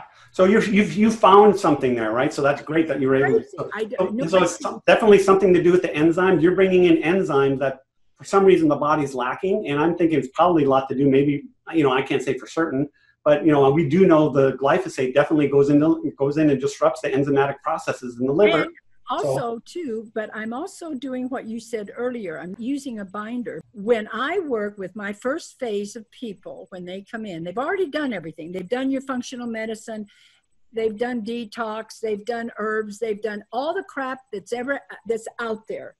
I don't get just normal people coming in. I get people that have been 8 to 25 years. They come in, I see what they haven't done with their programs. And guess what it is? It's what we're talking about even with all the things that they're doing. I take with the enzyme, the ultra clear, using a binder and a probiotic to support. Um, and uh, that's it. I go in and use that format, and then I look for parasites and viral stuff. I then address it based on whether it's 30 days or it comes into the second phase. If I do that with what I've learned, it literally will take and transition that person, get them off of all their stuff other than medicine or whatever, and I will change that platform, not just on one. There's not a person that walks in my office I can't do that to. Yeah. So I'm addressing digestion, I'm addressing the liver, I'm addressing the bowel, I'm addressing, and I did work, I would work with the bowel with another company with a couple of things that aren't laxatives, but bowel tonics, but never found anything like the bowel mover. So what I'm saying is I'm really anxious with this because this is what I believe in. I'm accomplishing what I'm doing. Don't really understand why I get the results, but the evidence is there. Right. My phone never stops ringing from people awesome. all over the country. Um, yeah, well, and I think in time, over you know, adding this, bringing in what you know and what they've done and all their research, you know, maybe one day there'll be an answer for me to be Yeah. able to understand. I don't, as long as I'm getting results, I'm okay. I may Right, never exactly. Yeah, fully, yeah. but I, but I just love it because it works. Uh, I'll talk about now the bowel mover product, which that you've you've had some experience with with clients and whatnot, so you know how well it works. But Oh the ball the bowel mover is um, you know Ayurvedic based, so it's a lot of, of that hydrochloric formula to where you know it does have the cascara sagrada in it, which is typically a habit forming herb. But in the formulation that we have it in, and with our carbon technology, it's not. We tried it out clinically for years, Yeah. and it's not habit forming whatsoever. I- Um, and also, we changed the formula to meet more modern day world stuff, so which needed to be done. So there is a little bit of anti-parasitic in there too. There's like some wormwood and stuff like that. So you know, it is it can be a little bit um, more of a hot um, product, I guess you could say, as far as you know, somebody just bringing it in right up front. Some people could have a little bit of reaction to it because it's going to try to get that peristalsis going you know, going in. So people will sometimes have that uh, little bit of a, they're not used to that. And they're like, oh, what's that gripping or cramping kind of, a little bit of, you know, abdominal discomfort a little bit. And usually that resides, goes away within a couple of days. But they can just, oh, How just dysfunctional the bell is. yeah, yeah, right, exactly. So they just have to work up. So they'll just reduce and just work up to what they can tolerate, and then they get through that. So I love that stuff. yeah, right. You've, you've, you've you've had quite a few number of people that really like it. So yeah, it just helps the bowels move. And aside from that, even in like my own experience with it, so is I had actually loose stools, right? A little bit loose on the loose side. I, would, I didn't have a problem with constipation whatsoever. So I thought I wouldn't need it, and I was expecting, So, but let me be congruent. Let me try out the product. Let me see how it. So when I'm expecting, oh my gosh, I'm going to get diarrhea. You know, like I'm just going to have the runs here. But to my surprise, as I started moving up, because I, went slow and I gradually got up, my stools actually firmed up and I had better formed stool from it. So I always tell people, other clinicians and whatnot, just don't disregard. If somebody says they're going two or three times a day, don't dis- disregard the product because it can still help. Because we're addressing, remember, it's got the carbons in there and it's addressing, it's preparing things for phase two. So because with the little bit of parasit- anti-parasitics in there, it's just getting, the, you know, the colon and whatnot kind of ready for things to go. And it does actually help that peristalsis, that MMC, you know, migrating motor complex to, It's awesome stuff. to, to, to work. So yeah, we love that product. So it's great product. And it, it goes away after phase one, but by all means, you can use it in any number. We just don't, I got patients that have said, don't ever get rid of that product. right? Right? Yeah. So it's, yeah, it's a great product. So the next thing I'll talk about is the biotoxin binder. to where the biotoxin binder is one of our three binders. And it, I can kind of, I kind of kind of like, like a general purpose binder in a way, although it's, you know, maybe it might not be the right term, but it kind of gives you that idea. It's like, well, why do you have three binders then? It's like, are you just trying to sell product? It's like, no, we have a method to the madness, so to speak, to where we are addressing specific things at a specific time through the drainage funnel, through the phases, right? So you know one of those things that you know we're coming up with here is like this addresses mold this is one this is the mold product right here for addressing mold because it just it goes right after you know that nrf2 pathway we try to get mold off that nrf2 pathway to open that up. And so it goes after other things like mycotoxins and endotoxins uh, ammonia sulfur candida you know just fungal those kind of fungal things that can be upfront you know when you're starting with somebody a lot of these issues going on ammonia right? So so that's why we have that there and it works works really well. So somebody with mold this is going to be the product they're going to be on throughout this whole time so it's it's our you know biotoxin binder is the mold product per se so yeah yeah so any questions on any of this Nope. before i move on to the next phase Yep. Make it fast. okay Yep, yep, yep. I'm just so excited. I can't stand it. So the, that's great. I know, right? So we're so with speaking about the mold thing too. That we're actually it's going to come up later on here. Is that we're coming up with a couple of products or a product that's going to be addressing mold a little bit more specifically, like in the sinuses and all these different other things. So I'll talk about that a little bit more later too. To that addresses really some more severe mold. Yeah. No, I know people have it in their sinuses, in their ears, and everything. Yeah, yeah. So that um, then that can actually be a mold spore. And spore remember that that um, also with that girl that I'm working with, that part of what almost killed her was all that kind of stuff, and that she's the one that had the also bacteria in her eyes. Oh, my. Ears. Oh, that's right. Yeah, yeah, yeah. Okay, so phase two is now a 60 day process meant to be for 60 days. Okay. Okay. Um, phase three is 60 days as well if you're, if you're writing it down. So phase two and phase three are meant to be 60 days each. Products from phase one come along for the ride, right? You see the, the minerals, the Mito, the TUDCA Plus, and the biotoxin binder. So if I didn't mention it earlier, the mineral product is also a drainage product. So I'd like to kind of throw that just to let people know it is actually, you know, it is a it is a drainage. It helps that drainage funnel as well. So that's another thing. Um, and it does it does address a little bit of glyphosate up front there too. So the mineral product and the HMET binder are really like the kind of like one-two punch kind of thing when you're going after glyphosate. We love those two products together, and I can talk into a little bit more of that later. But because just the uh, what glyphosate does to minerals in the in the joints, it displaces glycine, and copper. So I'll talk about that a little bit more towards the end. So phase two here, right? Now we're bringing in para one and the para two to where para one expands and becomes sticky in the colon. And it focuses, focuses on those parasites inside that GI tract, right? So it does expand in, in the colon. So that being said, it can be constipating. So people need to be sure they're adequate water intake when they're taking para one, all right? So that being said, also because it does expand and become sticky, if somebody has any type of incisions or anything or any resections or anything in, in the colon, then that you might want to be a little cautious with using it because if there's any restrictions or anything in that colon that could be cause could be a potential cause of some backup, right? So it's good to know that up, up front. So because it does expand. And so you think of Para One as a gut scrubber, kind of a sweep, like a broom. So it's our biofilm buster in the colon. So Para One is a biofilm buster in the colon. Okay.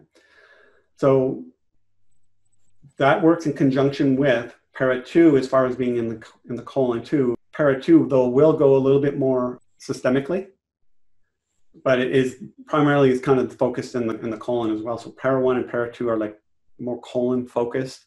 It will go a little systemically, but not as much as our Para 3. Para 3 is definitely our systemic, more broad spectrum product, which I'll talk about more of that coming up. So that's what those two products come in here at this phase. And they we usually bring it in in the morning, take that first thing on a morning before food, where we feel the best effect, you know, with herbs, right? That's generally the. It's an hour before. Yeah. Um, yeah. yeah. Yeah. And you take it away. So the Para One product, you want to take it away from the binders.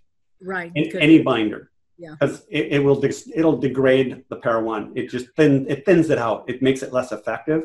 So that's the only thing. It's not going to be any really contraindication. It's just not going to make Para One as effective. So yeah. So yeah, give it a, give it at least an hour. So it's in yeah. So yeah, that's, that's why that's what I like about the products is you can take Para One, Para Two first thing. You can take them together first thing in the morning. Or you can take and, it the last thing before bedtime. Yeah, yeah, and you can do that too. Yeah, in the morning and night, kind of. Yep, exactly. Yep. Yeah. So then I'll move. So that's the the para products. Um, what they're going after is that is parasites, right, in the colon, and it does work really well. I mean, the Para One is like its flagship product that Dr. Todd Watts brought into the U.S. to use, and that's what he's basically started the company from was the Para One. I'll move over now to the, the kidney and liver support, where again the kidney and liver support, yes, it does has the ingredients like it's got the milk thistle and all these different things that you know liver support and all that kind of thing is supposed to have, but again, what makes this different than, a, than just being a supplement is the carbon technology that goes into it to where it's going to be addressing detoxification in the organ specifically, not just bringing in a nutrient and hopefully that it gets in to do that job, right? We're ensuring that we're coming in detoxifying those organs and allowing that nutrient and any repair work that needs to be done behind. So that's really what's to be said about the kidney and liver support. I mean, it's pretty straightforward there that we've even actually we've even seen liver flukes be passed just with on the use of this product in oh, itself. Really? Yeah, so it's interesting. And there's some we have some other handouts and things like how we can use like our TUDCA and our kidney and liver support and the lymphatic product that I haven't talked about yet, but you use those com- in a combination, like four capsules of each of them. Like you can use it once or twice a day, for for each of those four capsules of each, and it's like a uh, a gallbladder flush, right? You know, the, the old, uh, old fashioned, now I call it. Oh, the, God, I hate that. Yeah, right? The gall, the drink the oil and the Epsom salt. Yeah. I've done it, been there, done that, right? It's like, oh my gosh. So we have a, a much less evasive way now of doing it, and it accomplishes the, and it's pretty effective, pretty effective. So, so just know that our products are pretty versatile and different things that we've kind of designed, we've come, come, come up with. Um, even in coffee enemas, we've used like the mineral and the oxygen product. So, in which I'll talk about that next here is our oxygen product, which is very versatile. We call it the Swiss Army knife of Cellcore, and the fact that it's, it, it's versatile, right? It's, you can be used in a nebulizer, it can be used topically, it can be used intravenously, and then of course internally. Of course, that's the design purpose of it, but it's just so versatile, and it has like a pH of like one, right? You're going like a paper on that. I think I saw it on the oxygen product? Um, Like what you're saying, the different usages of it. oh, I did. I think I did send you that a handout. I think I thought I saw it. I think it's in my folder. Yep, yep. I didn't pull it out. But So the actually the oxygen product, the minerals, and the Mito ATP, they're those combination of those things can be used in different various aspects in different situations, um, topically, for the most part. Those three will be done will be used together topically. Um, the oxygen product can be nebulized. So quite there's quite a few number of people that use that nebulized, and um, they've even will put some of the para three product in in a nebulizer along with the oxygen to um, to just do different things there with immunity function. But the, what's interesting too about the biomolecular oxygen is that it is actually a molecular hydrogen product as well.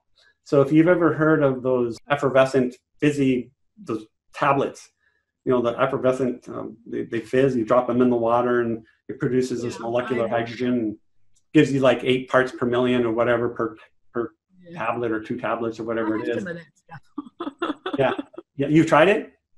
No, not this one. I mean, I've I've used the what you're talking. Uh, oh, uh, okay. You yeah. So so yeah. So we don't have any literature as of yet as far as how many parts per million of molecular hydrogen is in per drop or whatever. But we're supposed to be coming out, I think, with something on that, and we're going to be changing the name, I think, on this. I, th- I think at some point, like calling it like hydro oxyhydro or something like that, because people say, "What do you mean it's molecular hydrogen?" It doesn't even say anything about it on there. So yeah. um, you know people don't believe us but yeah it is it, it has definitely when we're talking about the ros um, factors there that it, it- it's able to you know give or take donate the oxygen or hydrogen whatever it needs there. So it's it's it's very versatile in what it's doing there it's reactive oxygen species. So it's a great product great product. And so another and so why we introduce it here in phase two we highlight it here in phase two not necessarily in phase one. It can be brought- used in phase one for sure.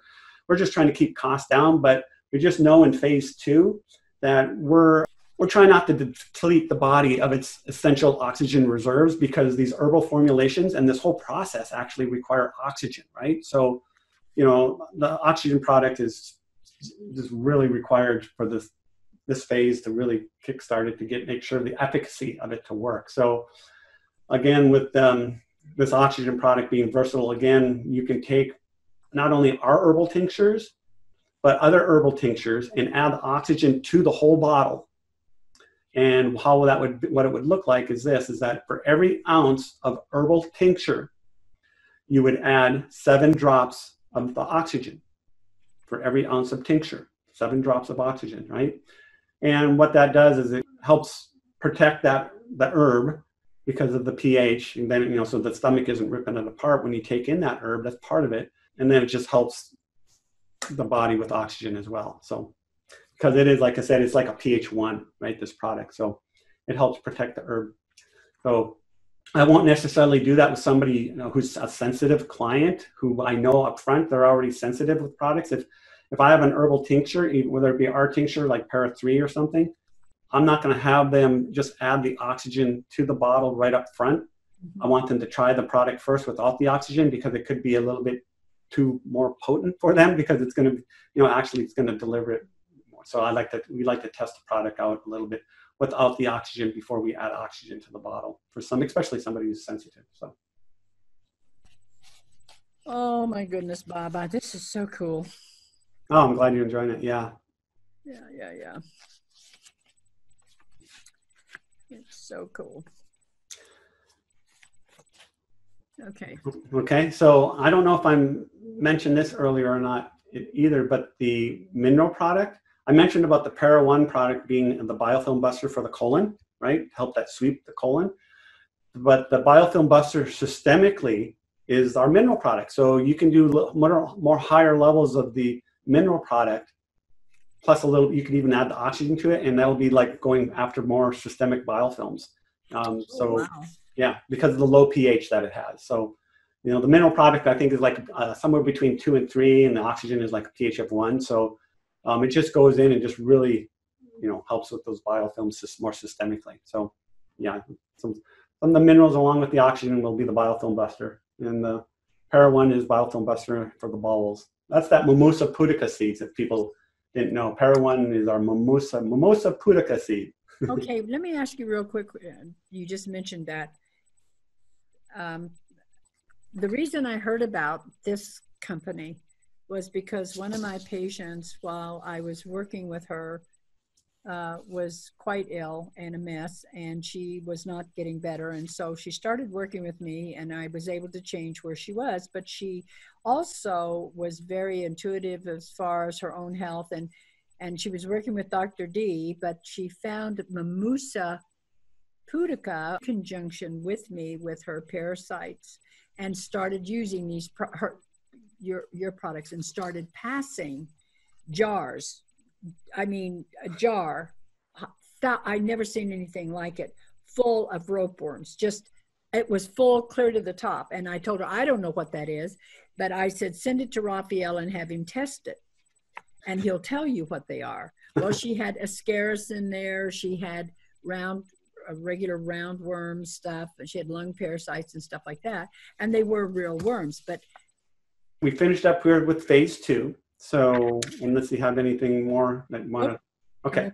So so phase three, let me move to phase three. So phase three now is going more whole body and immune support, you know, function. We're transitioning, you know, from gut to whole body here. And you'll notice once again that a lot of the products come from come along for the ride again, right? We continue to use the minerals, you know, the Mito ATP along with the Para One, right? So then, but we replace Para Two now with Para Three. So which para three now? Yeah. So para two goes away, and now just because it goes away doesn't mean it has to. Mm-hmm. By all means, you can still use para two here as well. It's just that we're just trying to keep costs down as yeah, I and I have to with people. Yeah. So yeah, exactly. So yeah. So if you feel that there is, so if you feel like if the parasite is more in the colon colon related, then yeah, by all means you can stick with para two, but just know that para three is going to go more systemically and more diverse, right? It's going to more broad spectrum, right? So para 3 is, is, was designed to go after things like strongyloides, blasto, you know, blastocystis oh, hominis. Yes, I, okay. I know that all too well. Okay, C. diff, right? Oh. Yep, it, it's designed to go after C. diff. Crypto, cryptosporidium, yeah, I was going to say I would use it for crypto for sure. Yep, and then just another very you know liver flukes and just other smaller microscopic you know parasites as well. So, okay. but that that's really what it was designed. And Todd actually designed Para Three pretty much for himself because he had strongyloides and he needed something stronger to go after it because strongyloides can be really a bugger to get to get rid of. It can take up to a year a lot of times. So just that life cycle that it has. It goes from the lungs up into the sinuses, the lungs, the sinuses, and does all this stuff. So, so now then also here in phase three, the next binder that comes in is the ViRadChem. So it would typically replace biotoxin binder, only that because we're not trying to bring in too many products, right? So if, like I said earlier, if somebody is dealing with mold, I would still want them still on the biotoxin binder here as we go into phase three, along with the ViRadChem. So, with that being said, what ViRadChem is is really three of our all three of our binders. So it's one third of the biotoxin binder, one third of HMET, and one third of its own ViRadChem formula. Formula, right? So it would take three capsules of ViRadChem to equal one of the biotoxin binder. If you were traveling, you, you could just take the ViRadChem with you, just have one binder and you know cover all your bases there, right? So we, we can call that a found like a foundation binder. Yeah. Okay. So what it's you know, and it, it's going after exactly that, you know, viruses, radiation, and chemicals, and so it all goes along with the reason of you know that order right through the phases and the order that we like to go after things because we know clinically to get the outcomes that we did in the certain amount of time that we want to get done in the least amount of time is that we address that order. And it's like we go after parasites and then we go after radiation and then heavy metals kind of thing. That's the if i wanted to break it down in three simple steps that's the order that we want to try to go after things. Because we just have seen clinically and how we come and this is story behind that, how the ViRadChem came to even be, was Heather, Dr. Jay's wife, had Lyme disease, right? And Todd was working with her and could only get so far. And he was like, it was really, it was like, this is strange. I haven't had this happen. Why is she cycling? Why I can get so far and then she relapses? And he looked into it, found a little bit more of her history, and found out she was born in this radon belt back east in the Midwest, I believe. And so he was that was interesting. He does muscle testing, right? And so he brought and he found out, wow, she tested really high for radiation. He had he made these vials up and you know, like, wow, that's interesting. So he got with the chemist, and that's how ViRadChem came to be. They developed a binder primarily for radiation. They included, you know, so viruses, viruses, retroviruses, chemicals, and radiation. So it's the kind of like the foundation there. So Yeah. it's interesting that, and he, so then once he used this product going after radiation, he made headway now with Heather, getting her through her line. So we know now that we can't make headway with certain things until we address them in a certain order. And I'll even, that'll be like lead, for example. You know, lead goes, likes to go into the bones, and, you know, you need a lot of times do a provocation to even get it out into the bloodstream to be even detect them, uh, Right. the levels of lead, which is like horrible to do even to start with. So, but a lot of times people like, well, it's hard to get rid of lead, and a lot of times the reason it's hard to get rid of lead, well, because one, it's, in the bone, but um, is because the radiation. So the, the lead is there to protect you from the radiation that you might have. Not not all the time, right? But like just something to know clinically is that if you're having trouble to get rid of lead, one of the things you might want to look at is maybe a radio radioactive component. Okay, so let me stop you there. With with the radiation, now I've had my leg radiated. Is that the kind of radiation? Yeah. I've had, uh, of course, I'm being X-rayed, and now I have to go through a skull and a to toe. Um, uh, Contrast dyes. uh, yeah, I'm going. Uh, yeah, I have to do that uh, just because I fell and uh, I got to make sure I didn't herniate a disc in my neck and all that kind of stuff. So, but I do know that the uh, if it's this one or maybe this is the one I used was extremely beneficial. But with the unsalt that I've had I've been assaulted on every level with radiation, every kind of x ray, keep having to do it, have to do all this stuff. That I had a black ring that was just black. I've never had it. And Pure Body works, but it's a very slower process and it doesn't make people sick, it all that stuff. When I added whichever one this was, I The think the ViRadChem. Okay, when I added this, I just did my this last week, and that black ring is gone. Yep.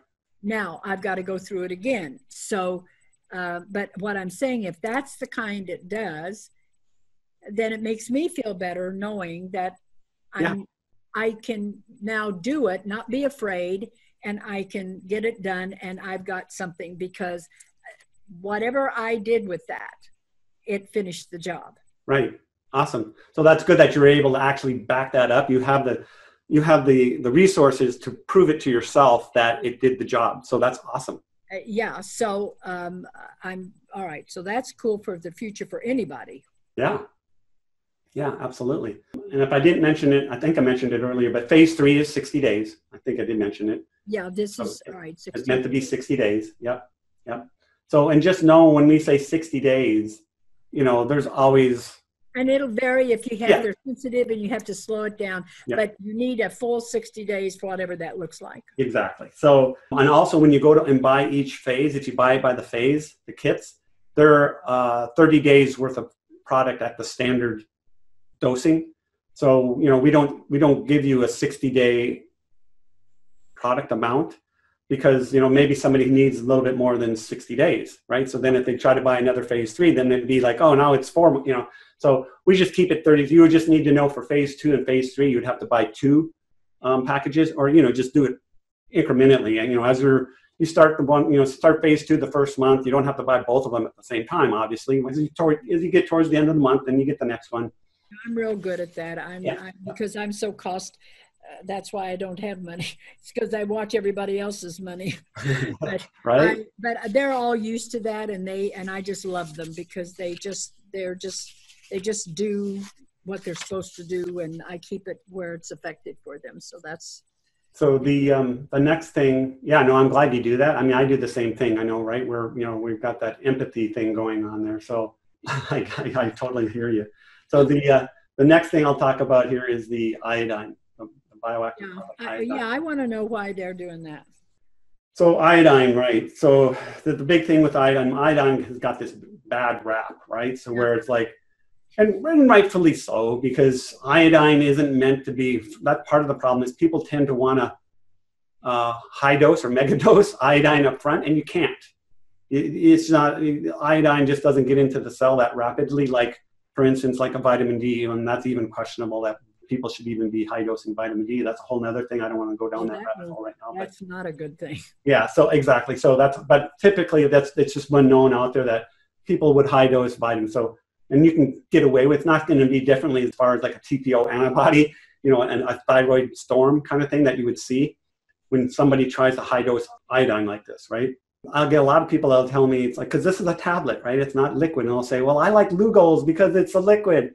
I'm like, "Well, wait on a second, because it gets into the system quicker." I go, "But wait a minute, iodine isn't supposed to be done that way to start with, and so and that's what you're you're creating a thyroid storm. You're creating an issue, especially with somebody with Hashis, that the body can't even absorb that, and the receptor sites might not even be open to start with. And on, but our ratios of our iodine to iodide is in the proper amount in this product, so it's just not iodine; it's iodine and iodide.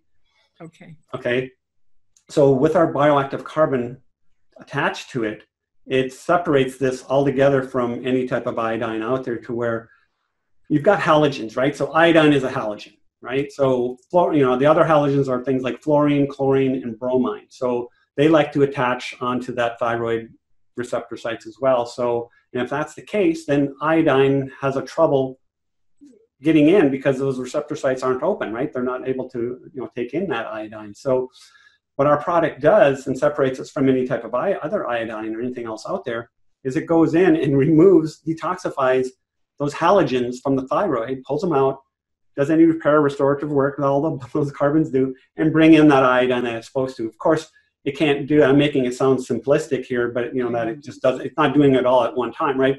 It's it can only do so much at a time, and it can take a year to really get those proper iodine ratios. But it's not doing it by overtaxing anything, which Right. is important. Yeah, right. But it's still, however, you still need to be cautious. Yeah. I mean, it's not like so it's a tablet to where it's not being absorbed. It's not really time release, but it's a tablet to where it's not really being rapidly taken in.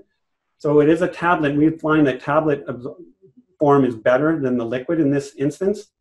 And so, yes, if you took, if, if somebody had Hashimoto's, Yeah. and if they No, took a tablet or two tablets straight up front, yeah, they're going to create a TPO antibody. They might have a thyroid storm. If that still could happen, Pam, okay. So Okay. like that's that's still it's not going to prevent that. So you still need to be conscientious of that. And so in that type of a person, knowing that if you know they're that up front, you split the capsule. You would take maybe even an eighth or a quarter of the capsule or tablet. It's a tablet, not a capsule. It's a tablet. And and then every six to eight weeks, then you do you know you, you run your thyroid labs or whatever you want to do, however way you, you check that, just to monitor those TPO antibodies to see, and then that'll be your gauge as far as to know when to increase the dosaging. So remember, when it comes to Hashimoto's, we advocate bringing in additional selenium, right, in order to keep those TPO antibodies under control. And once again, while our mineral product has some over 70 plant derived minerals, we are not the end all be all as we come in as Cellcore foundationally to clean things up to ensure that when you do bring in additional support like selenium, zinc, or maybe even magnesium, that those products will then work, right? But Now, we let me ask you real quick while I'm thinking about it. So if somebody doesn't have a thyroid, they've had it radiated or they've had it removed or whatever, would we still, would, there would be Uh, no need? Because I, uh, I just, ha- the reason I asked, because it was just So- recent. Uh, Yeah. uh, Person, they don't, you know, they had their thyroid destroyed by radiation and it's not functioning, so they're on Synthroid or or I've had people that have had their thyroid removed because of cancer. And so, you know, why would you, you wouldn't want to use this? So if, yeah, that would be important for me to know that because I get really strange things that happen in my practice with people. Oh, that's a great question, Pam. So, my understanding of is this. Now, in the female, there are iodine receptors that are on ovarian and uterine tissues, as well as even in the breast tissue, right? So, this is like the number one clinical consideration for fibrocystic breasts. That and also in like removing methyl uh. That's like a, that's in coffee, if I remember correctly. Um, so that's in that whole xanthine uh, I guess, group or, or family. So yes, everybody still needs iodine. Uh, iodine is needed for many purposes in the body. And if I remember correctly too, I think it's even had a lot to do with, in, with, to do with cancer, like in apoptosis. So I remember Dr. Brownstein has a book on iodine, and I think there's quite a few number of interesting facts all around iodine and just the different needs uh, and the purpose of iodine. So um, there's, I think there's just really a huge correlation there with cancer and apoptosis. So that's that, um, you know, it's still an antioxidant and an anti-inflammatory actions that the iodine affects several molecular pathways that are part of differentiation and that ap- apoptosis in the cells, from what I, if I remember correctly, and then ongoing epidemiological evidence points to iodine's role in the prevention and treatment of cancers through these effects. So there's quite, I think we, there's a, even some articles that we have on the CellCore site um, talking about making sense of iodine supplements and five bonus benefits of iodine. So yeah, iodine, so you got these five benefits of iodine. Like one is for energy, even if your thyroid is gone, it's still well known as a energizer because it's very effective in breaking down both carbohydrates and fat in the system.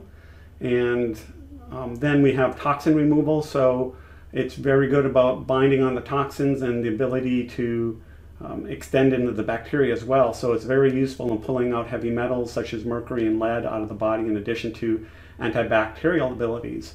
So then, you know, then of course the anti-cancer agent as well that I had mentioned that I'm pretty sure that's part of it too to where um, it just allows that apoptosis to happen in that whole cell um, life function. Then we have juvenile cognitive development.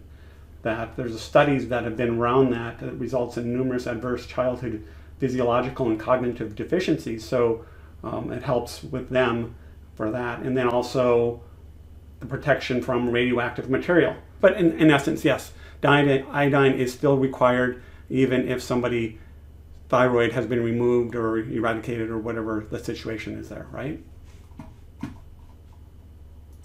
The thing with the halogens and the ViRadChem with other radiations, they're kind of work in tandem there as far as the radioactive elements. So that's what's interesting about this phase is that we're just really hitting more of those, you know, halogens and radioactive elements here, right?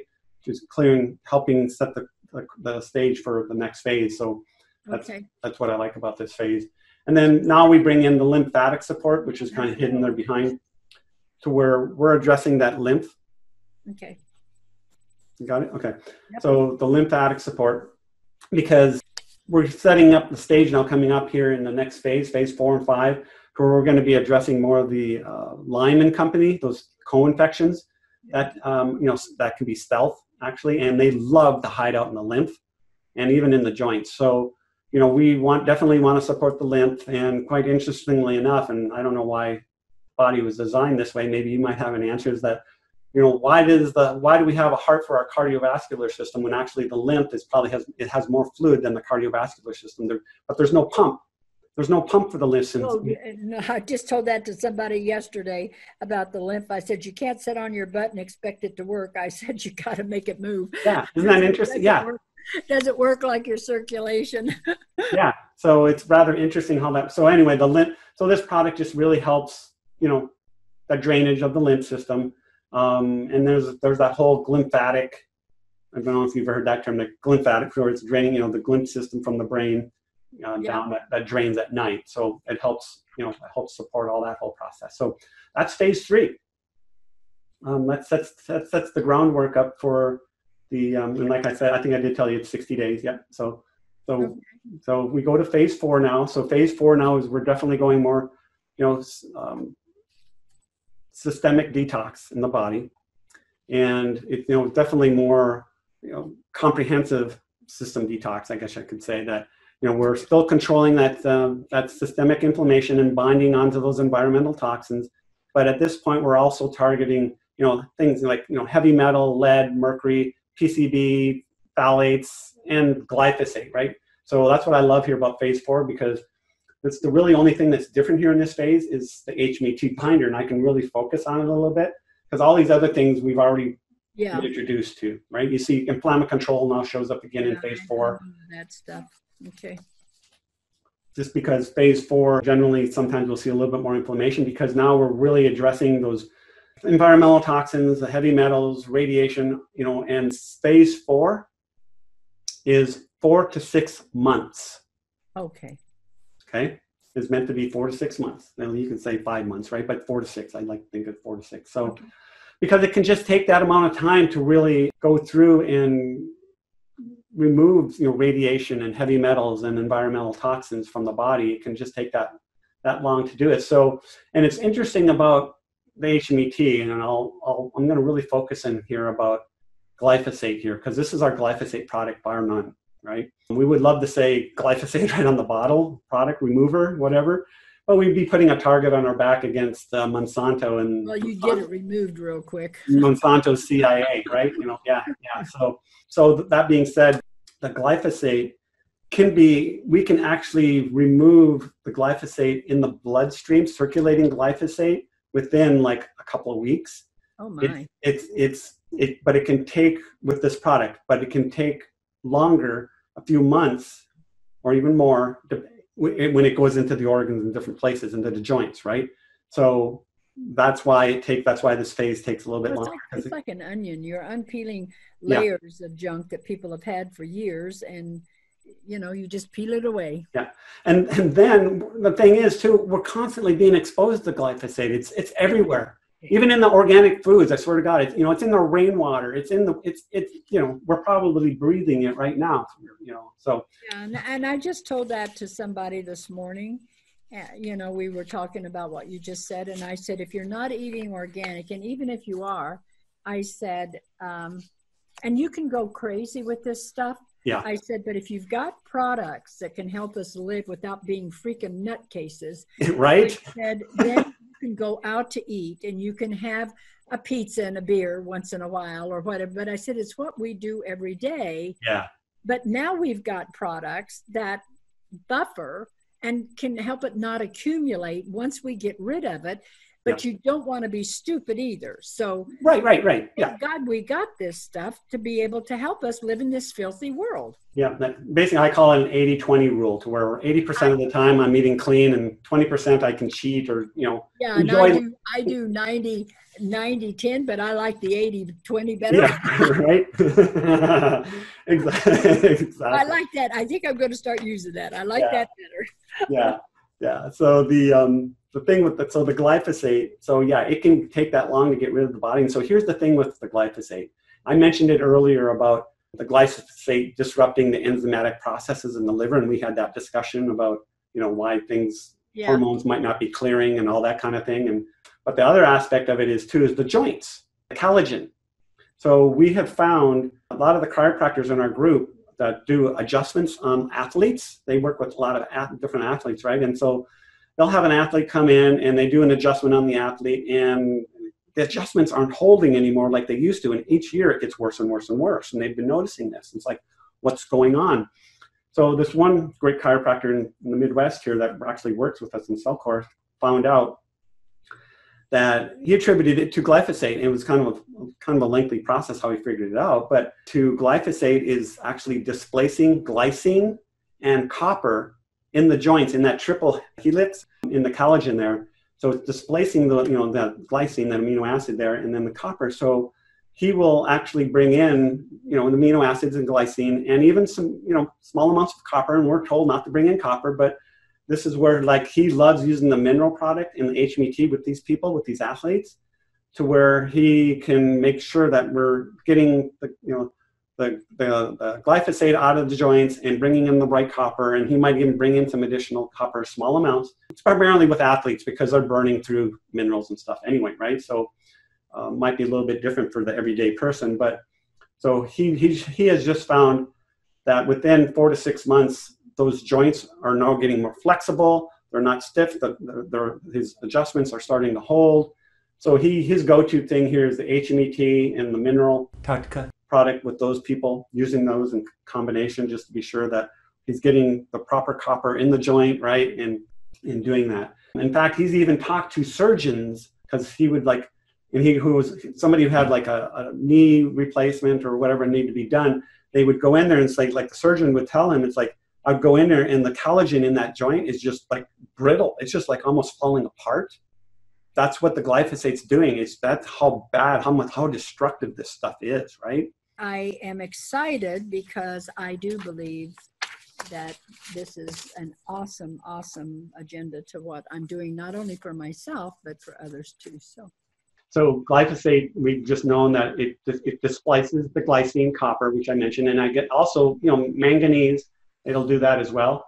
So, the, like I said, the doctor, he likes to use it, the HMET, the minerals, and I'll even as far as say, I forgot to say, is the TUDCA. So he likes to use those three, particularly when we're dealing with a glyphosate issue. So the TUDCA, HMET, and minerals are going to be the trio, I guess you could say, to use at that. So the thing with glyphosate too is it also creates ammonia in the brain. Um, so ammonia is not always due to parasites. So we've there's a correlation there that we found with that as well. So I'm, I'm not sure the mechanics behind that or the process of why that is technically, but I just was told that information a little bit the other day. Glyphosate also disrupts the microbiome, if you can imagine that. So that relate that you know can be related to candida overgrowth in itself. So yeah. so there's a lot there's a lot to play with glyphosate that really oh my gosh it's just one it's a bugger right so yeah so anyway that HMET product is like the product the glyphosate product right there. So I will move on over to phase five now, just so you know, phase five and four are meant to work concurrently. Okay. So it's like, well, why do you have them separate phases? Like, well, because they can be, you can use phase five separately. That's why, basically. So phase five can be brought in early, and I'll explain that a little bit more here. So just like para three can be brought in early if you wanted, but you just have to be smart. My job here to going through this is I want you to understand and master this process of understanding it so yeah. then you can come in and break the rules like a magician, so to speak. If so you, where, you do it with, uh, yeah, what I do is I love learn and get it, and then you can adapt.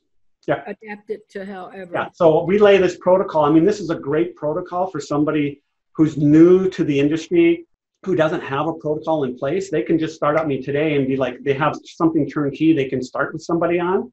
And so, but those of us that have been doing it for decades, you've got things set in place. And I mentioned that earlier to where, you know, we're not telling you to replace your whole protocol with what we have. If you want to take bits and pieces of this and, and fine tune it to your protocol, then that's fine. But just know that if you experience any situations with your protocol versus what we're trying to do, then there might be a reason. Maybe you're missing part of the funnel or something in the order. You're not, you know, maybe you went after the heavy metals before you went after the parasite. You know, these things, as long as you understand that, then you're able to piecemeal this program if you wanted for those who are who have more time under their belt and understand what they're doing this whole process and don't have anything going but somebody coming new in you know new chiropractors you know somebody who's just graduated from chiropractic school or you know functional medicine people this is a great turnkey product you know yeah. protocol for them so but anyway so let me talk about phase five so phase five here is meant to be used one product at a time here. So, like, what I mean by that is the first month of phase four, you would use a bottle of BORR. So, you start with BORR, and this is our Lyme product. If I mention that, this is our Lyme and Company product line, right? So, we're addressing those hidden stealth pathogens. So, we're just coming in here that maybe somebody isn't a Lyme, quote, patient type of thing who comes to you, doesn't even think he has Lyme, but you just want to go through this just to cover the bases, right? just to be sure we're, we're because it, they're stealth pathogens. Sometimes they're, they're very hard to detect.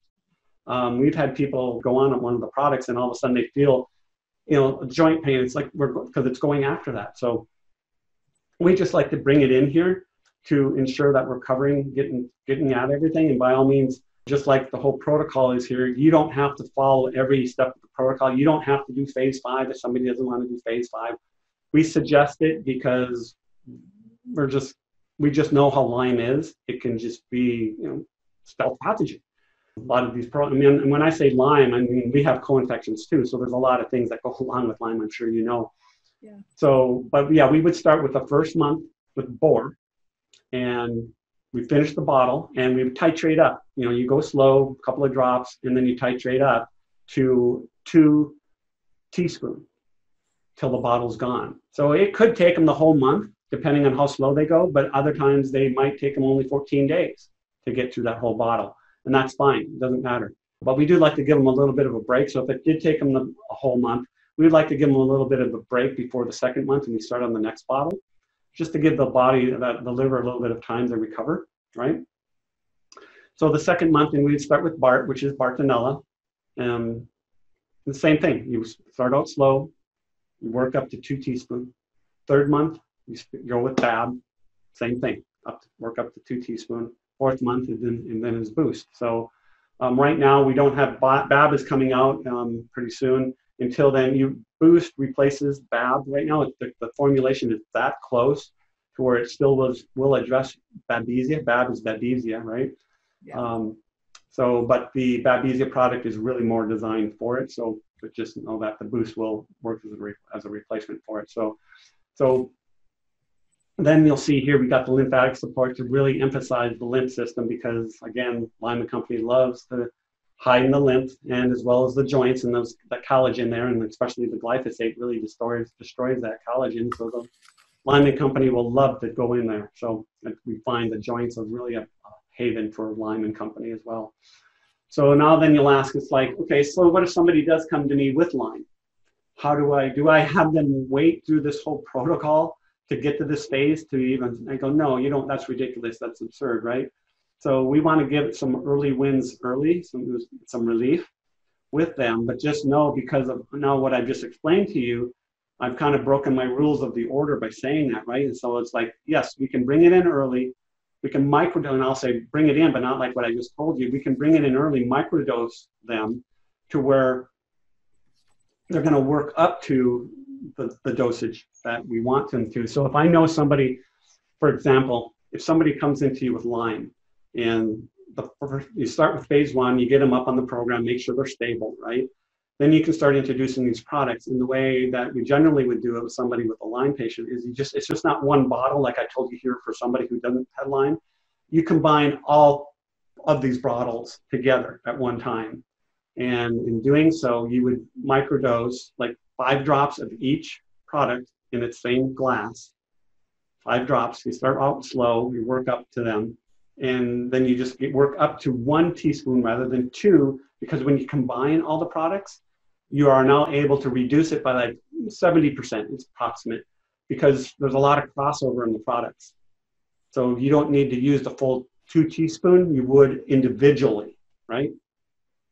Okay, so uh, that's my my little 16 year old. Um, we've already, uh, I worked with her when she came, and she's the one I told you about that said she didn't have limes. And I said, Well, we'll treat with what I see. Uh, if you've tested and you don't want to do that again, I said, then we'll work with what I see. She had parasites. She did Raphael's program for three months and we done the we done the cleanse the lymph the you know all the stuff that i do with what i know to do and then she did raphael's program and now she's in a wheelchair. She's i hadn't heard from him um, i didn't track her to keep finding out because they uh, they were doing the program with raphael. And i received a letter from the grandmother and now they had her tested again and she's the one that they're not sure, but there's some markers that say that she's possibly got it.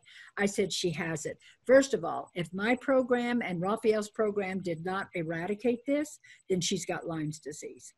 And she has all the symptoms of Lyme's.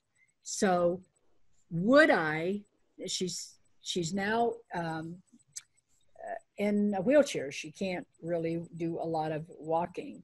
So they called me again and they said, We really want to work with you. Uh, and I told them I would try to see what this program is and then start working with her. So, would I start with phase one with her again and just do that for 30 days to lay the groundwork? And then the next 30 days, because uh, we've already we've already tested her, the parasites are not there that are present that were present at the time. They're gone, and um, that didn't make a difference in how she felt. Um, it didn't change anything as her, her system got more radical. So the Lyme's has got, she's probably got co-infections and all that. So would I, would I start with phase one and do phase one for 30 days just to, just to kind of doing something. She's doing some program now that she found online, her and her dad. And so I said, well, I won't work to, with you till you're done with that because it's done nothing for her. I said, finish up your program and then get back in touch with me and then I'll talk to you. Um, so when they finish it, then she's going to call me back. So phase one and then bring this protocol in. Yeah. So yeah, exactly. So we always, the, the thing about this phase five is in, in, in a Lyme protocol, what really sets the stage up for this lot phase five part of the protocol is that we did all this prep work ahead of time. Okay. So right. that's uh, like I would say, so like I, I think I mentioned earlier about Heather didn't make, Dr. Jay's wife didn't make headway with Lyme until they what? Addressed what? The radiation, right? Yeah. Mm-hmm. So, so you got to remember that. So, so now that you know that, like somebody with Lyme, yes, I can bring in these products early to give them some early wins for relief to see how we're doing. But we're not going to really get after that Lyme wholeheartedly until we address those pathways and get things open and, and address things like radiation and heavy metals and anything else that may be lurking around. So it's very important. And the reason that makes this Lyme protocol successful and work, and it works really well, is really the prep work ahead of time. If you do that yeah. prep work, yeah, okay. So yes, so the answer to your question is definitely phase one. Yes, absolutely. Get let's get things working. Get let's start doing that. We can get them some early relief early. You know, um, well, early on. Really been yeah. She's just uh, she's beyond herself, and she's 16 for God's sake. She's yeah. a young girl, and you know, she's just yeah. Tired of it. And yeah, let's give this person some hope, right? Some yeah, some yeah, restore their hope and help. So so yeah, we'll yeah we start them out slow and give them some relief, but just know that when we get towards more through the end of the you know through phase three and four, then we'll be able to start hitting it harder once we get through phase four, right? Well, then we'll be able to go somebody like that. You would actually, you'll know as you start microdosing them all along the way with all com- the products together to whether you would know to whether to once you get to phase five if you if you want to do individual products one at a month which i probably is not going to be the case but i'm just throwing that out there to let you know that you know have your own open mind here of how to do things. But I'm gonna it's probably gonna be more like when you do get to phase five after phase four, you're gonna be combining all three. You may even be going up to a, a, a teaspoon or a teaspoon and a half with all three or four products all at one time. But I was just just I was trying to drive home that you can reduce the product by 70%. Yeah. Whereas if you were taking it by each one product individually, you can take two teaspoons, right? Yeah. Right. Okay. So yeah, so you would definitely start with phase one with that person for sure, for sure. Yeah, you just can't expect to take this these products alone by themselves to to clear it out. Yeah, no. we have to address because we have to have that lymph moving. We have everything needs to be moving to clear these buggers out, right? You know, yeah. And the and the binders always be on a binder. Always, always be on a binder. Okay, so then of course we have there's there's things like we have a full moon protocol and all these other things that people would do in phase five like in the second month of phase four they can do a full moon protocol um, which i don't have a slide for that but basically all you're doing is you're bringing in during the full moon you're bringing in like para one para two you know all these different para products and hitting it hard punching it hard and pulling back during the full well, moon and i'm excited about that because raphael uh, is the first i mean I've always known about the full and new moon cycling, and it's three months. um, is the cycle. I've learned a lot from some of the top parasitologists in the world I've worked with, and but you know didn't have these products, but but used Raphael and still have, and I will always use Raphael. Um, in in the beginning, probably, maybe I'm not sure how that's going to work in the future, but uh, but we do three months and then we retest, and then I check my work and and um, I find the activity still. And so anyhow, it's it's been a really good educational thing for me and him both. Yeah. But um, with this, um, uh, it it gives evidence of how deep seated things are, so we can work with that concept of that full moon. And what's nice is is that if people do every six months, I tell it's like you deworm a dog and kids. I said now with the protocol, the full moon protocol, um, you do it. People should do it every six months eh, because you even get parasites from organic food. We don't get we don't eat the parasites. We swallow the eggs, and there's one especially that's in broccoli, and I didn't know that, but I learned that from Raphael. I thought it was a European parasite, and he taught he taught me that you get it from raw broccoli, not Europe. wow. So I've learned a lot from him, and he said they they lay their eggs in in the cauliflower and, and mainly in like in broccoli, and when you eat a lot of raw broccoli, um, you swallow the eggs, and of course, if a person's environment, I said parasites are filthy. They love filth. They the dirtier you are internally, they're going to set up motels, hotels, and resorts. Hmm. And then if you're eating incorrectly, they're going to have a Mardi Gras on the full and new moon. And so you can literally track that emotionally and physically. I have people doing that now, and I've done it now for the last 10 years, especially working with Raphael, because that's how he works. And it's never failed. It's just hysterical what happens. So now with this protocol, they don't have to, once we clear that up, they can now do this on an ongoing basis because I don't care if you're eating out of an organic bar, you're going to get parasites. Every day of our life, we're going to get parasites someplace. So now you don't have to let them build those motels and hotels because you've cleaned the filth up. There, we can now get a hold of them before they ever build those motels.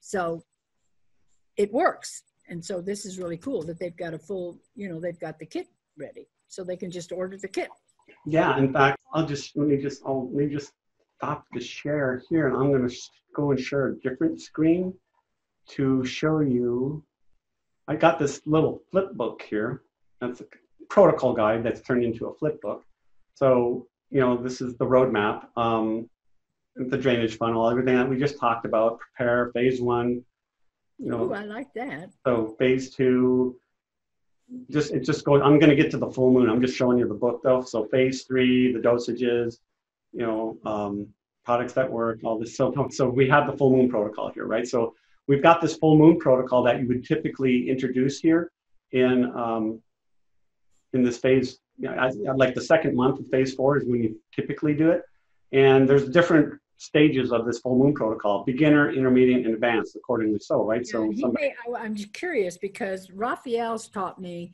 that you treat according to the full and new moon cycles because that's how parasites cycle. Right. And so they do two they do so many weeks on the full moon and then they take a break. And then they started on the new moon the last cycle.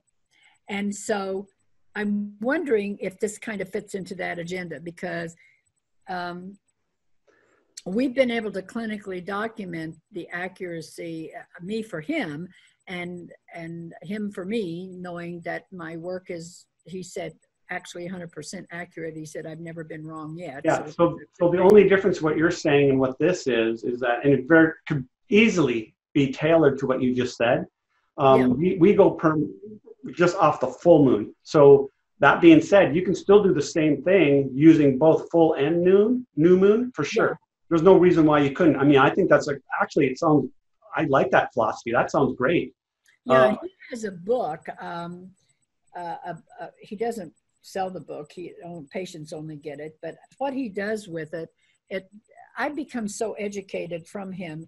He tells the different parasites. Well, he's been doing it for 50 years. He's a medical doctor, but he he's uh, you know he's he doesn't really harp on diet and and all this stuff that we do, you know, but he's really stinking good with what he does. And he designed the protocol for the, he did, was part of a research for the military and um, he saved lives. So, uh, you know, I met him in Chicago. I was so impressed with him. He came and met me in Florida and we got to be really good friends.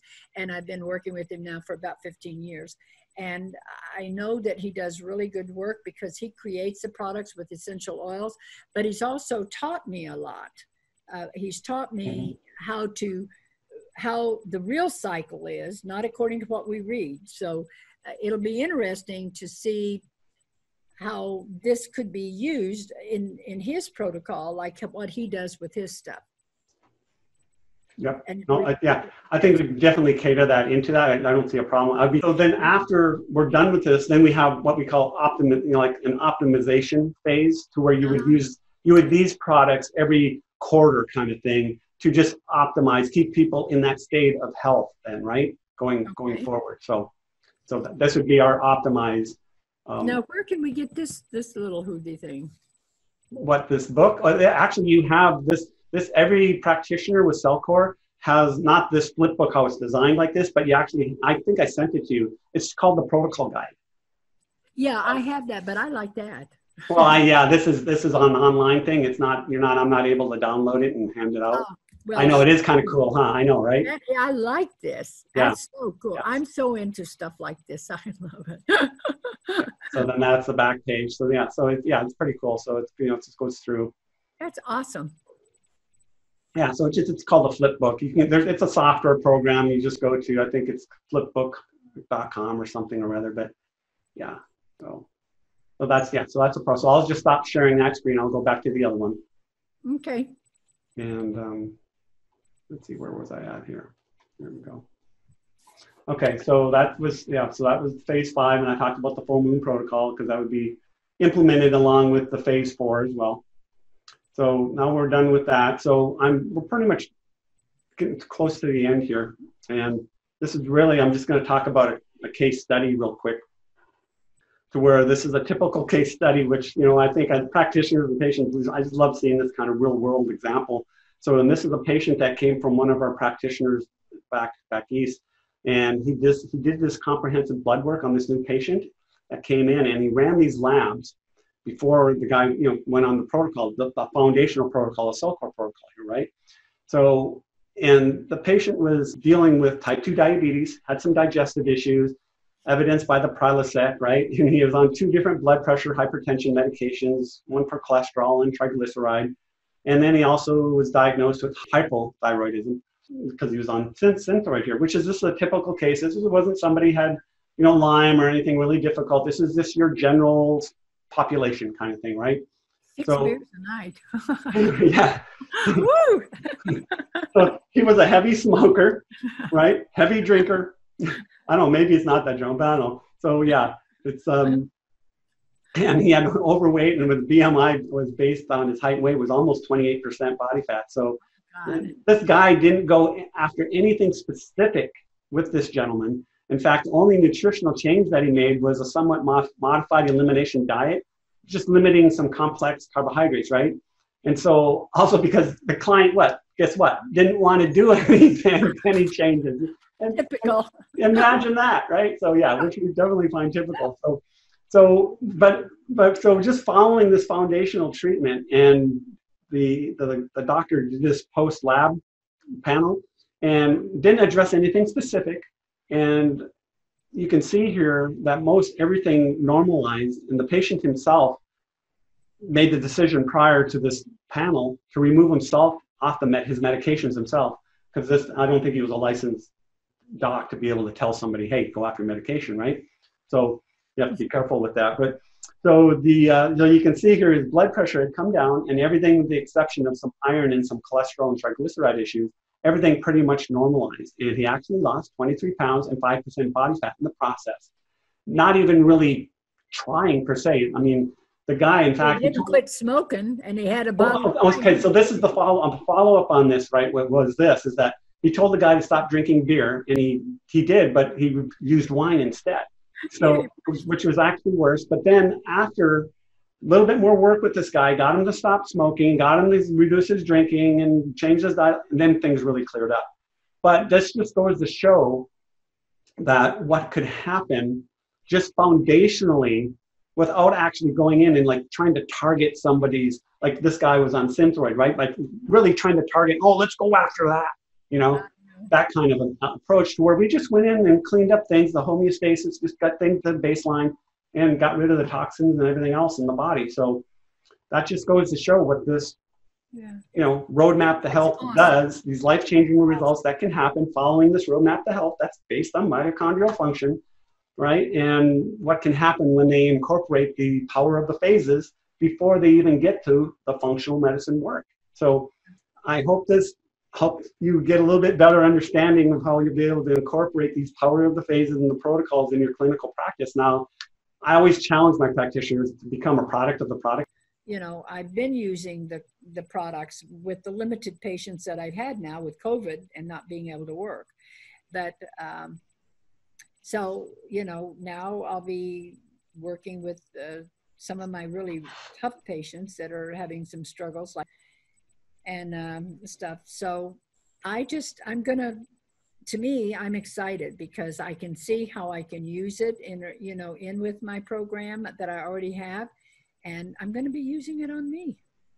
That's awesome. No, I so uh, you mentioned the part about the spiritual, emotional aspect, which I think that can be so overlooked a lot of times. To where I, I'm glad that you recognize that and you've done done this work for so long that you understand that, so that you noticed when you started to incorporate that, you started to feel better, right? So it's really interesting that tie that that it's not always biochemical work, right? You know, we a lot of times we need that spiritual aspect, the emotional component there to really get to true healing a lot of times. But yeah, we do need those interventions of the biochemical as well, and it's, sometimes it's that combination.